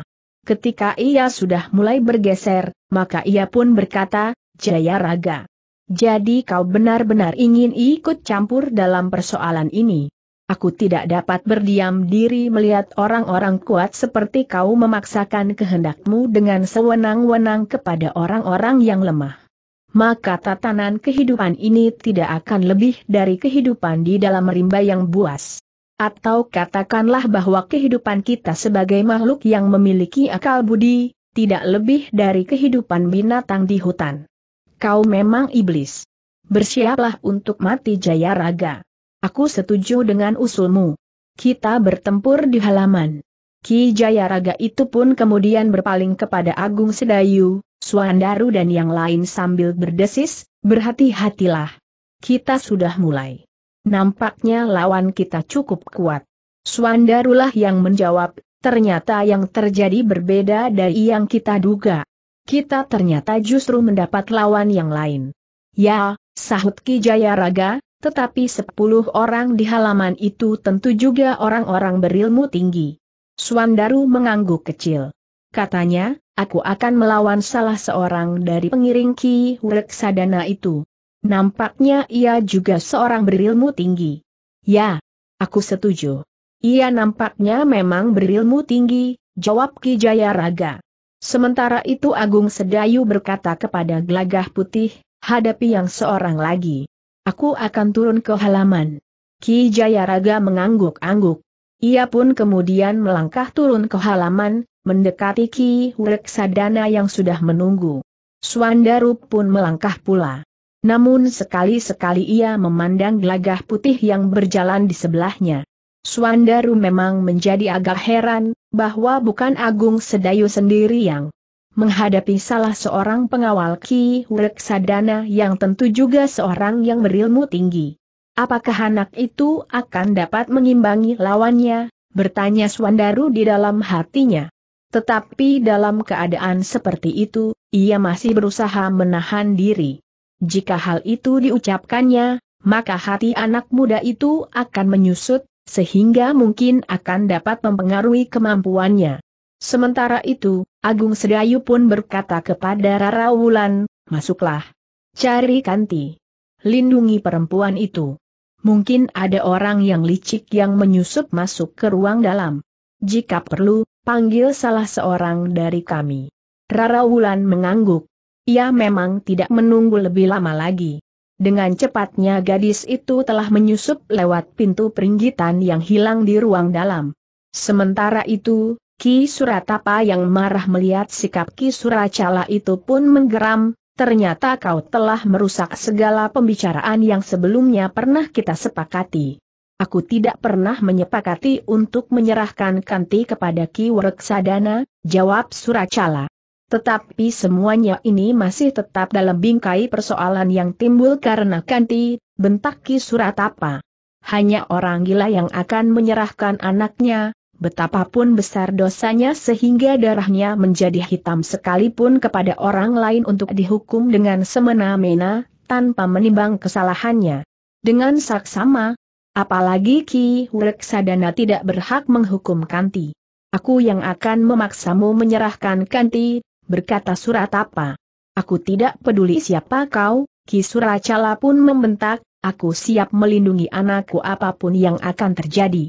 Suratapa tidak dapat menahan diri lagi. Dengan garangnya ia menyerang Suracala yang bergeser ke tangga pendapa. Ternyata Suracala pun lebih senang bertempur di halaman daripada di pendapa rumahnya. Sementara itu Suradipa memang licik. Ia mengetahui bahwa yang mencoba melindungi Kanti hanyalah seorang perempuan muda. Karena itu, maka ia pun segera meloncat masuk lewat pintu peringgitan untuk mencari Kanti. Di halaman Ki Jayaraga sudah siap bertempur melawan Ki Sadana. Sedangkan Suandaru menghadapi salah seorang pengawalnya. Demikian pula Gelagah Putih. Sedangkan Agung Sedayu, Pandan Wangi dan Sekar Mirah tetap bersiap menghadapi sepuluh orang yang semula telah dipersiapkan oleh Ki Suratapa di Bulak untuk mencegat utusan dari tanah perdikan itu jika mereka kembali. Namun yang mengejutkan adalah kedatangan dua orang yang memasuki regol halaman. Cahaya lampu minyak yang redup menggapai wajah mereka, sehingga hampir di luar sadarnya Agung Sedayu berkata, Ki Argajaya. Ki Argajaya berdiri tegak di depan regol. Di sebelahnya Prastawa nampak gelisah. Aku sudah mengira bahwa hal seperti ini akan terjadi, berkata Ki Argajaya, karena itu, aku wajib menyusul kemari adalah tidak pantas jika aku dan Prastawa duduk sambil minum minuman hangat di rumah, sementara orang-orang yang datang atas namaku harus menyabung nyawanya. Agung Sedayulah yang menyahut, persoalannya telah bergeser dari persoalan semula. Kami sedang berusaha melindungi Kanti dari tindak sewenang-wenang. Apa yang terjadi dengan Kanti? Bertanya Ki Arga Jaya. Ceritanya panjang Ki Arga Jaya, jawab Agung Sedayu. Ki Argajaya menyadari, bahwa bukan waktu untuk mendengarkan sebuah dongeng yang betapapun menariknya. Sementara itu, Ki Jaya Raga yang sudah siap untuk bertempur berkata, Selamat datang Ki Argajaya. Seperti yang dikatakan oleh Angger Agung Sedayu, kita sedang melindungi Kanti dari sergapan seekor serigala setelah disergap oleh serigala yang lain. Ki Sadana tidak dapat menahan dirinya lagi. Ia tidak peduli akan kehadiran Ki Argajaya. Karena itu, maka ia pun segera menyerang Ki Jayaraga dengan garangnya. Ki Jayaraga tidak lengah meskipun ia sempat berbicara dengan Ki Argajaya. Karena itu ketika serangan itu datang, maka Ki Jayaraga dengan cepat meloncat menghindar. Sementara itu, Swandaru pun telah mulai bertempur pula. Demikian pula gelagah putih yang telah mengambil jarak. Dalam pada itu, maka Ki Argajaya dan Prastawa pun segera menempatkan diri bersama-sama dengan Agung Sedayu, Pandanwangi dan Sekar Mirah. Sementara itu, Seorang di antara mereka yang semula siap mencegat utusan Ki Argajaya itu berkata, jadi perempuan-perempuan ini juga merasa mampu untuk bertempur. Sekar Mirah yang telah menyingsingkan kain panjangnya tidak menjawab. Tetapi tiba-tiba saja selendangnya telah dikibaskannya dengan cepatnya. Orang yang berbicara itu terkejut. Semula ia tidak mengira bahkan selendang itu demikian cepatnya mematuk ke arahnya. Karena itu, maka dengan serta-merta orang itu meloncat surut. Namun bandul-bandul timah kecil di ujung selendang itu meluncur lebih cepat. Karena itu, maka ujung selendang itu telah sempat menggapai dada orang itu. Orang itu mengeluh tertahan. Namun kemudian ia pun segera mengumpat kasar. Terasa dadanya menjadi sakit dan nafasnya pun seakan-akan telah tersendat. Iblis betina, geramnya. Kemarahannya telah menjalar lewat darahnya yang mendidih ke seluruh tubuhnya. Namun dadanya itu memang terasa sakit dan panas. Ternyata sepuluh orang yang marah itu tidak menunggu lebih lama. Mereka pun segera mencabut senjata-senjata mereka. Sepuluh ujung senjata telah terjulur ke arah lima orang yang berada di dalam kepungan. Ki Argajaya sudah cukup lama tidak memegang tombaknya. Tetapi demikian tangannya mulai tergetar, maka rasa-rasanya tombaknya itu telah bergerak dengan sendirinya. Meskipun demikian, ia pun berdesis, aku tidak bermimpi masih akan mengangkat senjata lagi. Tetapi ternyata aku telah disudutkan oleh keadaan, sehingga aku terpaksa menarik tombakku dari pelonconnya. Bukan salah Ki Argajaya, desis Agung Sedayu. Ki Argajaya tidak menyahut lagi. Serangan-serangan mulai datang beruntun. Pandan Wangi yang memang telah menyiapkan dua pisau belati di pinggangnya, telah menggenggamnya pula meskipun pisau belati itu hanya pendek saja, tetapi di tangan yang terampil, maka pisau itu menjadi sangat berbahaya. Orang yang berkumis lebat yang ikut mencegat utusan Ki Argajaya di bulak itu menggeram, ternyata mereka bukan perempuan-perempuan yang pasrah untuk taruhan. Baru tahu kau sekarang, desis kawannya. Orang itu ternyata tidak dapat melanjutkan kata. Katanya, sepasang pisau belati pandan wangi telah menjerit senjatanya, sebuah parang yang besar. Untunglah bahwa kawannya yang lain sempat membantunya dengan serangan yang deras menebas ke arah leher pandan wangi. Sebuah kapak yang besar itu terayun dengan deras sekali. Tetapi pandan wangi cukup tangkas. Meskipun ia harus melepaskan parang lawannya, namun ia sempat menghindari serangan kapak yang besar itu. Demikianlah pertempuran itu pun menjadi semakin sengit. Namun Ki Argajaya ternyata masih sempat melihat Ki Suracala yang bertempur melawan Ki Suratapa. Dua orang sepupu yang harus bermusuhan karena masing-masing membela kepentingan anaknya. Salah atau tidak salah? Kenapa Ki Suracala, Bertanya Ki Argajaya kepada Agung Sedayu yang bertempur tidak jauh daripadanya. Ia sedang melindungi anaknya. Kita berdiri di pihaknya, jawab Agung Sedayu. Ki Argajaya tidak bertanya lagi. Lawannya dengan serta-merta menyerangnya. Namun tombak Ki Argajaya sempat berputar dan mulai mematuk dengan cepatnya. Prastawa sendiri telah mempergunakan pedangnya ia memang agak mengalami kesulitan menghadapi ujung-ujung senjata. Namun ternyata perhatian orang-orang itu lebih banyak tertuju kepada Agung Sedayu. Apalagi ketika kemudian mereka mendengar cambuk Agung Sedayu yang meledak dengan kerasnya. Suandaru terkejut mendengar ledakan cambuk Agung Sedayu. Bukan karena suara cambuk yang keras itu. Namun ledakan cambuk itu menunjukkan bahwa Agung Sedayu seakan-akan masih belum memanjat sampai tataran yang lebih tinggi lagi. Tetapi Agung Sedayu sendiri memang harus menilai ungkapan kemampuannya itu, karena seorang di antara lawan-lawannya justru telah tertawa pula. Dengan nada lantang orang itu berkata, Hi, gembala dungu. Jika kau hanya dapat melecut lembu atau kerbau yang sedang menarik bajak, sebaiknya kau tidak berada di halaman ini. Justru orang lain yang mendengar kata-kata itu, jantungnya menjadi panas. Bahkan Sekar Mirah rasa-rasanya ingin mendorong suaminya untuk lebih bersungguh-sungguh menghadapi lawan yang jumlahnya terlalu banyak itu. Namun justru Agung Sedayu sendiri tidak menanggapinya. Ia masih saja melecutkan cambuknya dengan ledakan yang menggetarkan seisi halaman itu. Dalam pada itu Reksadana pun berteriak pula, kenapa kalian biarkan Sais yang sombong itu masih tetap di situ? Orang yang diupah Ki Suratapa untuk memimpin kawan-kawannya itu menggeram, aku akan membunuhnya mendahului kawan-kawannya. Orang itu memang segera menyerang Agung Sedayu. Serangan-serangannya memang mendebarkan. Senjatanya dengan cepat terayun menebas mengarah ke leher Agung Sedayu. Tetapi dengan tangkas Agung Sedayu menghindar. Cambuknya berputar sekali. Kemudian satu ledakan yang keras terdengar saat ujung cambuknya menggapai tubuh lawannya itu. Lawannya bergeser selangkah. Ujung cambuk itu memang mengenai kulitnya tetapi hanya sentuhan yang tipis, karena orang itu dengan cepat menghindar. Dengan daya tahannya yang tinggi, maka orang itu dapat mengabaikannya sentuhan ujung cambuk agung sedayu yang hanya wantah itu. Namun dengan demikian orang itu menjadi lengah.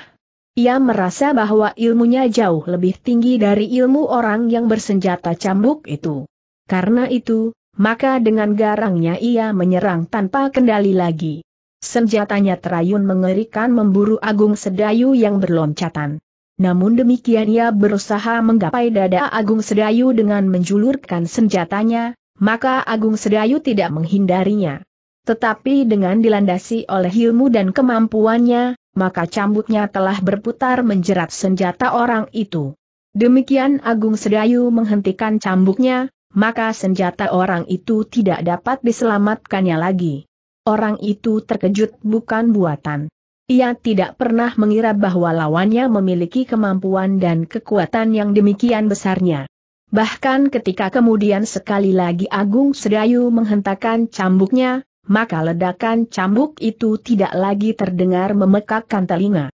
Tetapi sentuhan ujung cambuk itu ternyata telah mengoyak lengan lawannya. Terdengar teriakan tertahan. Lawannya itu pun dengan serta-merta meloncat mengambil jarak. Sementara itu, kawannya yang melihat keadaannya, dengan cepat telah menyerang Agung Sedayu pula. Agung Sedayu tidak memburu lawannya yang sudah dilukainya. Tetapi ia melihat Prastawa yang mulai terdesak. Namun ia pun melihat bagaimana Sekar Mirah yang sedang memutar selendangnya telah membuat lawannya terdesak. Tetapi lawannya yang lain pun segera menyerangnya pula dari arah yang berbeda. Dalam sekilas Agung Sedayu melihat, bahwa orang-orang di tanah perdikan itu akan segera mengalami kesulitan jika jumlah lawannya yang sepuluh orang itu tidak segera berkurang. Di sisi lain Pandan Wangi dengan pisau rangkapnya, berloncatan dengan tangkasnya. Dengan senjata pendeknya, Pandan Wangi tetap merupakan seorang yang sangat berbahaya. Dengan tangan kirinya ia menebas serangan lawannya. Kemudian dengan loncatan panjang senjata di tangan kanannya mematuk ke arah dada. Sementara itu, Ki Argajaya yang menurut pengakuannya sendiri tidak pernah bermimpi untuk mempergunakan tombaknya lagi, namun ternyata ia masih juga Ki Argajaya yang garang. Dengan keras ia mendesak lawan-lawannya. Meskipun ia mulai nampak menjadi lamban karena Ki Argajaya tidak pernah lagi berlatih mempergunakan tombaknya, tetapi tangannya masih menggetarkan lawan-lawannya. Ketika Suandaru mendengar, ledakan cambuk agung sedayu yang berubah, ia sempat menarik nafas panjang. Bahkan di luar sadarnya ia berkata, nah, ternyata Kakang Agung Sedayu telah sedikit mengalami kemajuan. Bahkan sesaat kemudian, Suandaru mendengar lagi hentakan cambuk Agung Sedayu. Tidak dengan ledakan yang memekakkan telinga. Tetapi getarannya mengguncang udara di halaman itu. Tetapi Suandaru tidak sempat melihat apa yang dilakukan oleh Agung Sedayu. Agung Sedayu bertempur bersama-sama dalam satu putaran pertempuran yang kalut. Sementara itu, Suandaru bertempur di sisi lain melawan salah seorang pengawal Ki Reksadana yang ternyata memang berilmu tinggi. Di lingkaran pertempuran yang lain, Gelagah Putih menghadapi pengawal Ki Reksadana yang seorang lagi juga seorang yang berilmu tinggi. Beberapa kali gelagah putih memang berloncatan surut mengambil jarak agar ia dapat bertempur di tempat yang bebas di sudut halaman. Namun setiap kali Suandaru mengerutkan dahinya. Bahkan kemudian ia merasa wajib untuk segera menyelesaikan lawannya agar ia dapat membantu gelagah pulih karena Suandaru mencemaskan anak muda itu. Sementara itu Suradipa yang licik itu tengah mencari kanti di ruang dalam. Ia memperhitungkan jika ia dapat menguasai kanti, maka ia akan dapat memaksa orang-orang yang sedang bertempur itu untuk berhenti, ia dapat memaksa orang-orang tanah perdikan menoreh untuk meninggalkan tempat itu dengan taruhan kanti. Tetapi ia tidak melihat kanti di ruang dalam. Tetapi ia mendengar keributan telah terjadi di serambi samping. Sehingga karena itu, maka ia pun telah berlari pula ke Serambi. Suradipa itu terkejut. Ternyata telah terjadi pertempuran di longkangan dalam di depan Serambi itu. Karena itu, maka ia pun segera berlari mendorong pintu dan turun ke longkangan. Suradipa melihat dua orang yang mengerang kesakitan. Di bawah cahaya lampu minyak di seketeng ia melihat Wirada diduduk bersandar dinding serambi, sementara seorang yang lain masih sedang bertempur melawan seorang perempuan. Jantung Suradipa menjadi berdebar-debar. Di sudut longkangan, bawah sebatang pohon kemuning, dua orang perempuan sedang memeluk Kanti yang ketakutan. Ibunya dan kakak perempuannya. Suradipa itu menggeram marah. Ia harus dapat menguasainya. Namun ia belum sempat mendekati perempuan itu ketika laki-laki yang sedang bertempur melawan seorang perempuan itu terdorong beberapa langkah surut dan kemudian kehilangan keseimbangannya. Meskipun demikian, orang itu berusaha untuk segera dapat bangkit berdiri. Tetapi orang itu seakan-akan sudah tidak mampu lagi untuk tegak. Sementara kawannya yang berusaha untuk bangkit itu pun tidak berhasil. Demikian ia mencoba menapak, maka ia pun telah terduduk kembali. Suradipa mengumpat kasar. Perempuan yang bertempur itu adalah perempuan yang datang lebih dahulu bersama anak muda yang bertempur di halaman. Untuk memberitahukan bahwa utusan Ki Argajaya akan datang. Anaknya anak itu tidak berbohong ketika ia mengatakan bahwa ia telah mengalahkan Wiradadi. Kini bahkan perempuan yang masih semuda Kanti itu telah mengalahkan tiga orang sekaligus, termasuk Wiradadi itu sendiri, berkata orang itu di dalam hati. Namun Suradipa tetap pada niatnya untuk menguasai Kanti. Ia sadar, bahwa ia harus menyingkirkan perempuan yang garang itu lebih dahulu. Ketika kemudian Rara Wulan berdiri tegak sambil menggenggam kedua ujung selendangnya, Suradipa itu berkata, aku akan menyelamatkan Kanti. Sebaiknya kau tidak usah turut campur. Tetapi Rara Wulan menggeleng. Katanya, kau termasuk orang-orang yang ingin mencelakakannya. Karena itu enyahlah. Jangan mencoba untuk menyentuhnya. Perempuan liar kau dapat mengalahkan Wiradadi dan dua orang kawannya yang tidak lebih dari cucurut-cucurut yang dungu itu. Tetapi jangan bermimpi untuk dapat mencegah aku, berkata Suradipa. Rara Wulan telah bersiap menghadapi segala kemungkinan. Ia memang menyadari, bahwa Suradipa tentu memiliki kelebihan dari Wiradadi dan kawan-kawannya. Tetapi Rara Wulan tidak akan beringsut dari tempatnya. Ia sudah bertekad untuk melindungi Kanti dari sewenang-wenang. Apalagi ketika ia mendengar pembicaraan antara Ki Reksadana dengan Ki Jaya Raga. Karena itu, Maka ketika Ki Suradipa bergeser maju, Rara Wulan mulai menggerakkan selendangnya sambil berkata, Aku sudah memperingatkanmu, jangan sentuh anak itu. Ki Suradipa tidak menjawab. Tetapi kemarahannya sudah merambat sampai ke ubun-ubun. Sambil menggeram Ki Suradipa itu mencabut pedangnya dan bergeser semakin dekat. Kanti, ibunya dan kakak perempuannya menjadi semakin tegang. Mereka tahu bahwa Suradipa adalah seorang laki-laki yang keras dan bahkan garang. Ki Suracala sendiri merasa tidak dapat menolak kehendaknya serta kehendak Ki Suratapa. Tetapi ketiga orang perempuan itu sudah melihat sendiri bagaimana gadis itu mengalahkan ketiga orang lawannya. Ketika kemudian Suradipa mulai menjulurkan pedangnya, maka Rarawulan pun telah memutar selendangnya pula. Sejenak kemudian, maka keduanya telah terlibat dalam pertempuran yang semakin cepat. Suradipa berusaha untuk dengan cepat menyingkirkan perempuan itu agar dengan cepat pula dapat membawa Kanti ke halaman depan.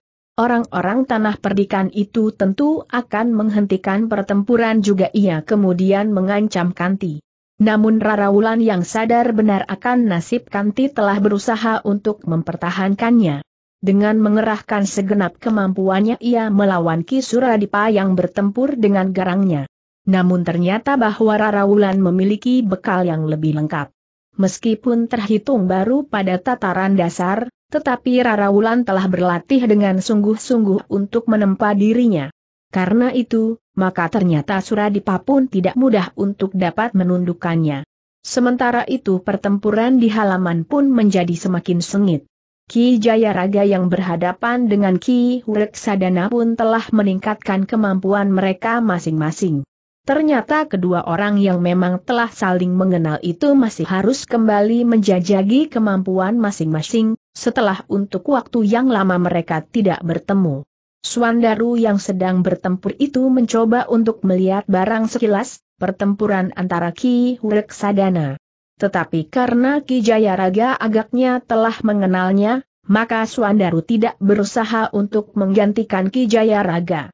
Namun sebagaimana ia mencemaskan gelagah putih, maka Suandaru pun berharap agar Ki Jayaraga mampu mengimbangi lawannya yang nampaknya sangat yakin akan kemampuannya sendiri. Namun Suandaru sendiri ternyata harus bertempur dengan sengitnya. Lawannya ternyata memang seorang yang berilmu tinggi pula. Bahkan setelah bertempur beberapa saat, Suandaru dapat meraba lewat unsur-unsur gerak lawannya, bahwa lawannya itu memiliki jalur ilmu yang sama dengan Ki Sadana. Mungkin muridnya. Tetapi mungkin saudara seperguruannya. Jika orang ini sekedar murid Ki Sadana, tentu aku tidak perlu melayaninya. Aku lebih senang bertempur. Melawan sekelompok orang, berkata Suandaru di dalam hatinya. Ternyata ia menganggap bahwa Agung Sedayu cukup cerdik memilih lawan. Dalam pertempuran berkelompok seperti itu, maka sulit untuk memberikan penilaian yang tepat atas kemampuannya. Bahkan seandainya ilmunya masih di bawah tataran yang seharusnya. Tetapi dengan mendengar ledakan cambuk Agung Sedayu, maka Suandaru menganggap bahwa Agung Sedayu tidak lagi jauh ketinggalan dari tataran yang diharapkannya. Dalam pada itu, ketika pertempuran antara Suandaru dan lawannya menjadi semakin sengit, maka Suandaru justru menyempatkan diri untuk bertanya, apakah kau murid Ki Sadana? Setan kau. Aku adalah adik seperguruannya, jawab orang itu. Oh, Suandaru meloncat menghindari serangan orang itu. Namun mulutnya sempat berkata, aku kira kau muridnya yang paling dulu. Kau memang terlalu sombong tetapi kau tidak akan berarti apa-apa bagiku, geram orang itu. Swandaru tertawa. Tetapi dengan cepat ia harus meloncat ke samping ketika kaki lawannya terjulur lurus ke arah dada. Demikianlah maka mereka pun terlibat dalam pertempuran yang semakin sengit. Namun demikian Swandaru masih sempal berusaha untuk melihat keadaan gelagah putih. Tetapi cahaya lampu minyak di pendapa dan di regol ternyata terlalu lemah untuk menggapai lingkaran pertempuran di sudut halaman itu. Jika lawan gelagah putih itu juga saudara seperguruan Ki Sadana, maka anak itu akan segera mengalami kesulitan, berkata Swandam di dalam hatinya. Namun Swandaru memang tidak mempunyai banyak kesempatan. Lawannya telah meningkatkan ilmunya semakin lama semakin tinggi, sehingga Swandaru pun harus melakukannya pula. Benturan-benturan kekuatan yang terjadi kemudian, telah memperingatkan kedua belah pihak agar mereka menjadi semakin berhati-hati. Dalam pada itu, gelagah putih sendiri memang harus meningkatkan kemampuannya untuk menghadapi lawannya. Ternyata tanpa ditanya oleh gelagah putih, lawannya itu telah bercerita tentang dirinya. Kau akan menyesal anak muda, bahwa kau telah mencoba untuk melawan aku. Gelagah putih tidak menyaut. Tetapi ia menyerang semakin deras. Meskipun demikian lawannya masih juga sempat berkata, anak muda, kau harus menebus kesombonganmu dengan harga yang sangat mahal. Karena kau telah berhadapan dengan saudara seperguruan Ki Sadana. Gelagah putih bergeser sedikit menjauh. Dengan nada datar ia bertanya, jadi kau saudara seperguruan Ki Sadana? Ya, jawab orang itu. Baiklah, berkata gelagah putih, jika demikian aku memang harus berhati-hati. Setan kau, geram lawan gelagah putih itu. Gelagah putih tidak menyaut. Tetapi ia benar-benar harus berhati-hati menghadapi saudara seperguruan Ki Sadana. Namun saudara seperguruan Ki Sadana itu harus menghadapi kenyataan, bahwa anak yang masih sangat muda itu ternyata memiliki ilmu yang tinggi. Jika semula ia menganggap lawannya itu tidak lebih dari gejolak anak muda yang tidak berperhitungan, namun kemudian ia harus menyadari, bahwa anak muda itu mempunyai bekal yang cukup lengkap untuk turun ke medan menghadapinya. Karena itu, Semakin lama lawan gelagah putih itu justru semakin dipaksa untuk meningkatkan ilmunya karena anak muda itu selalu mendesaknya. Serangan-serangannya justru menjadi semakin berbahaya. Dalam pada itu, Ki Sadana sendiri benar-benar harus membentur ilmu yang sangat tinggi. Sadana memang orang yang sangat ditakuti. Tetapi lawannya yang dikenalnya pernah berkeliaran di pesisir utara itu juga seorang yang disegani. Benturan-benturan yang kemudian terjadi, membuat Ki Sadana semakin meningkatkan ilmunya. Tetapi selapis demi selapis, Ki Jaya Raga pun meningkatkan ilmunya pula. Kau masih tetap iblis sebagaimana saat kau menyusun pesisir utara, geram Ki Sadana. Ki Jaya Negara tertawa. Meskipun kemudian serangan Ki Sadana membadai, namun Ki Jaya Negara masih sempat menyahut, ya dan kau masih juga seekor serigala yang rakus, licik dan buas. Tetapi seharusnya kau mulai sadar, permana. Anakmu juga seorang perempuan. Bukankah anakmu merengek dan bahkan hatinya menjadi pedih ketika ia tahu suaminya selingkuh? Apakah yang terjadi itu merupakan pantulan dari perbuatanmu? Apakah yang pernah kau lakukan terhadap banyak perempuan itu terjadi juga atas anakmu? di mana-mana kau beristri, tetapi di mana-mana pula istrimu kau tinggalkan karena kau tertarik perempuan lain. Bedanya, mertuamu bukan seorang yang garang bagaimana kau sendiri, sehingga menantumu jadi sangat ketakutan. Tetapi apa pun yang terjadi atas menantumu, hati anakmu sudah terlanjur terluka. Ki Sadana yang marah itu berusaha untuk menghentikan Ki Jaya Raga. Ia menyerang semakin garang. Namun Ki Jayaraga masih juga dapat bertempur sambil berbicara berkelanjangan. Namun ketika serangan Ki Sadana menjadi semakin sengit, maka Ki Jayaraga memang harus terdiam. Ia harus memusatkan penalarannya kepada serangan-serangan Ki Sadana yang berbahaya itu. Bahkan hampir menyentuh kulitnya. Dengan demikian, maka keduanya telah terlibat dalam pertempuran yang semakin panas. Kemarahan Ki Sadana yang semakin menyala di dalam dadanya. Telah menyulut ilmunya pula. Dalam pertempuran yang keras dan garang itu, maka perlahan-lahan tangan Ki Sadana seakan-akan semakin lama menjadi semakin menggetarkan. Tidak banyak orang yang melihat, tetapi Ki Jaya Raga yang bertempur melawannya, melihat dalam keremangan cahaya lampu minyak di pendapa, Telapak tangan Ki Sadana seakan-akan telah membara.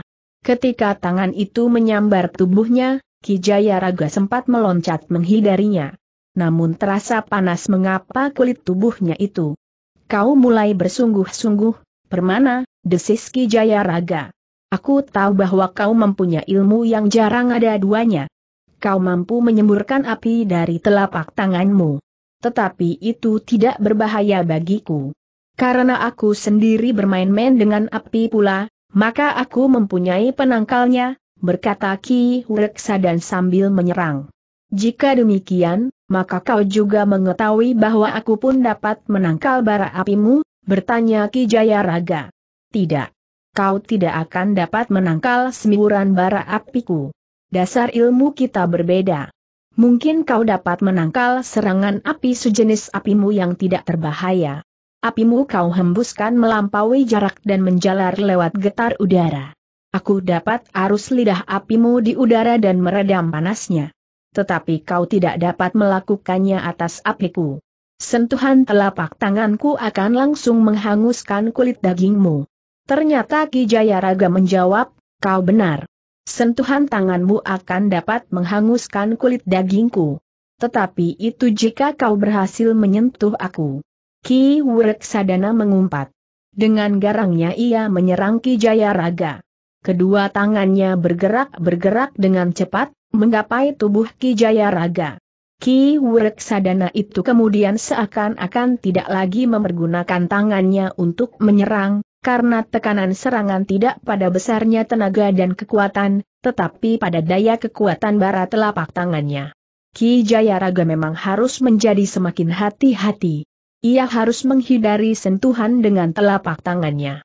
Jika Ki Jaya Raga harus mengkis serangan lawannya karena ia tidak sempat lagi menghindari maka Ki Jaya Raga berusaha untuk menebas tangan lawan di pergelangan. Tetapi Ki Sadana menyadari kesulitan Ki Jaya Raga. Karena itu, maka Ki Sadana menyerang semakin garang. Sementara itu, Swandaru pun menjadi semakin gelisah. Bukan semata-mata karena dirinya sendiri, Suandaru juga memikirkan keadaan Mendan itu seluruhnya. Ia melihat Ki Jaya Raga beberapa kali harus berloncatan surut. Seakan-akan lawannya mempunyai beberapa kelebihan sehingga mampu mendesak orang tua itu. Sementara itu dengan menilai lawannya yang ternyata juga berilmu tinggi, maka ia mencemaskan keadaan gelagah putih yang lawannya mungkin memiliki kemampuan seimbang dengan lawannya sendiri. Sedangkan di lingkaran pertempuran yang agak jauh. Di seberang pendapa, istrinya sedang bertempur dengan lawan yang jumlahnya terlalu banyak. Demikian pula adik perempuannya dan saudara seperguruannya yang dinilai kurang greget untuk meningkatkan ilmunya, apalagi sepeninggal gurunya. Namun Swandaru, murid utama untuk dengan cepat menyelesaikan pertempuran itu ternyata mengalami kesulitan. Lawannya ternyata berilmu tinggi karena ia adalah saudara seperguruan Ki Sadana. Tetapi Swandaru, murid utama perguruan orang bercambuk itu juga menggelisahkan lawannya. Bagi lawannya Swandaru masih terhitung muda. Tetapi orang yang agak gemuk itu ternyata memiliki kekuatan yang sangat besar dan kemampuan sangat tinggi.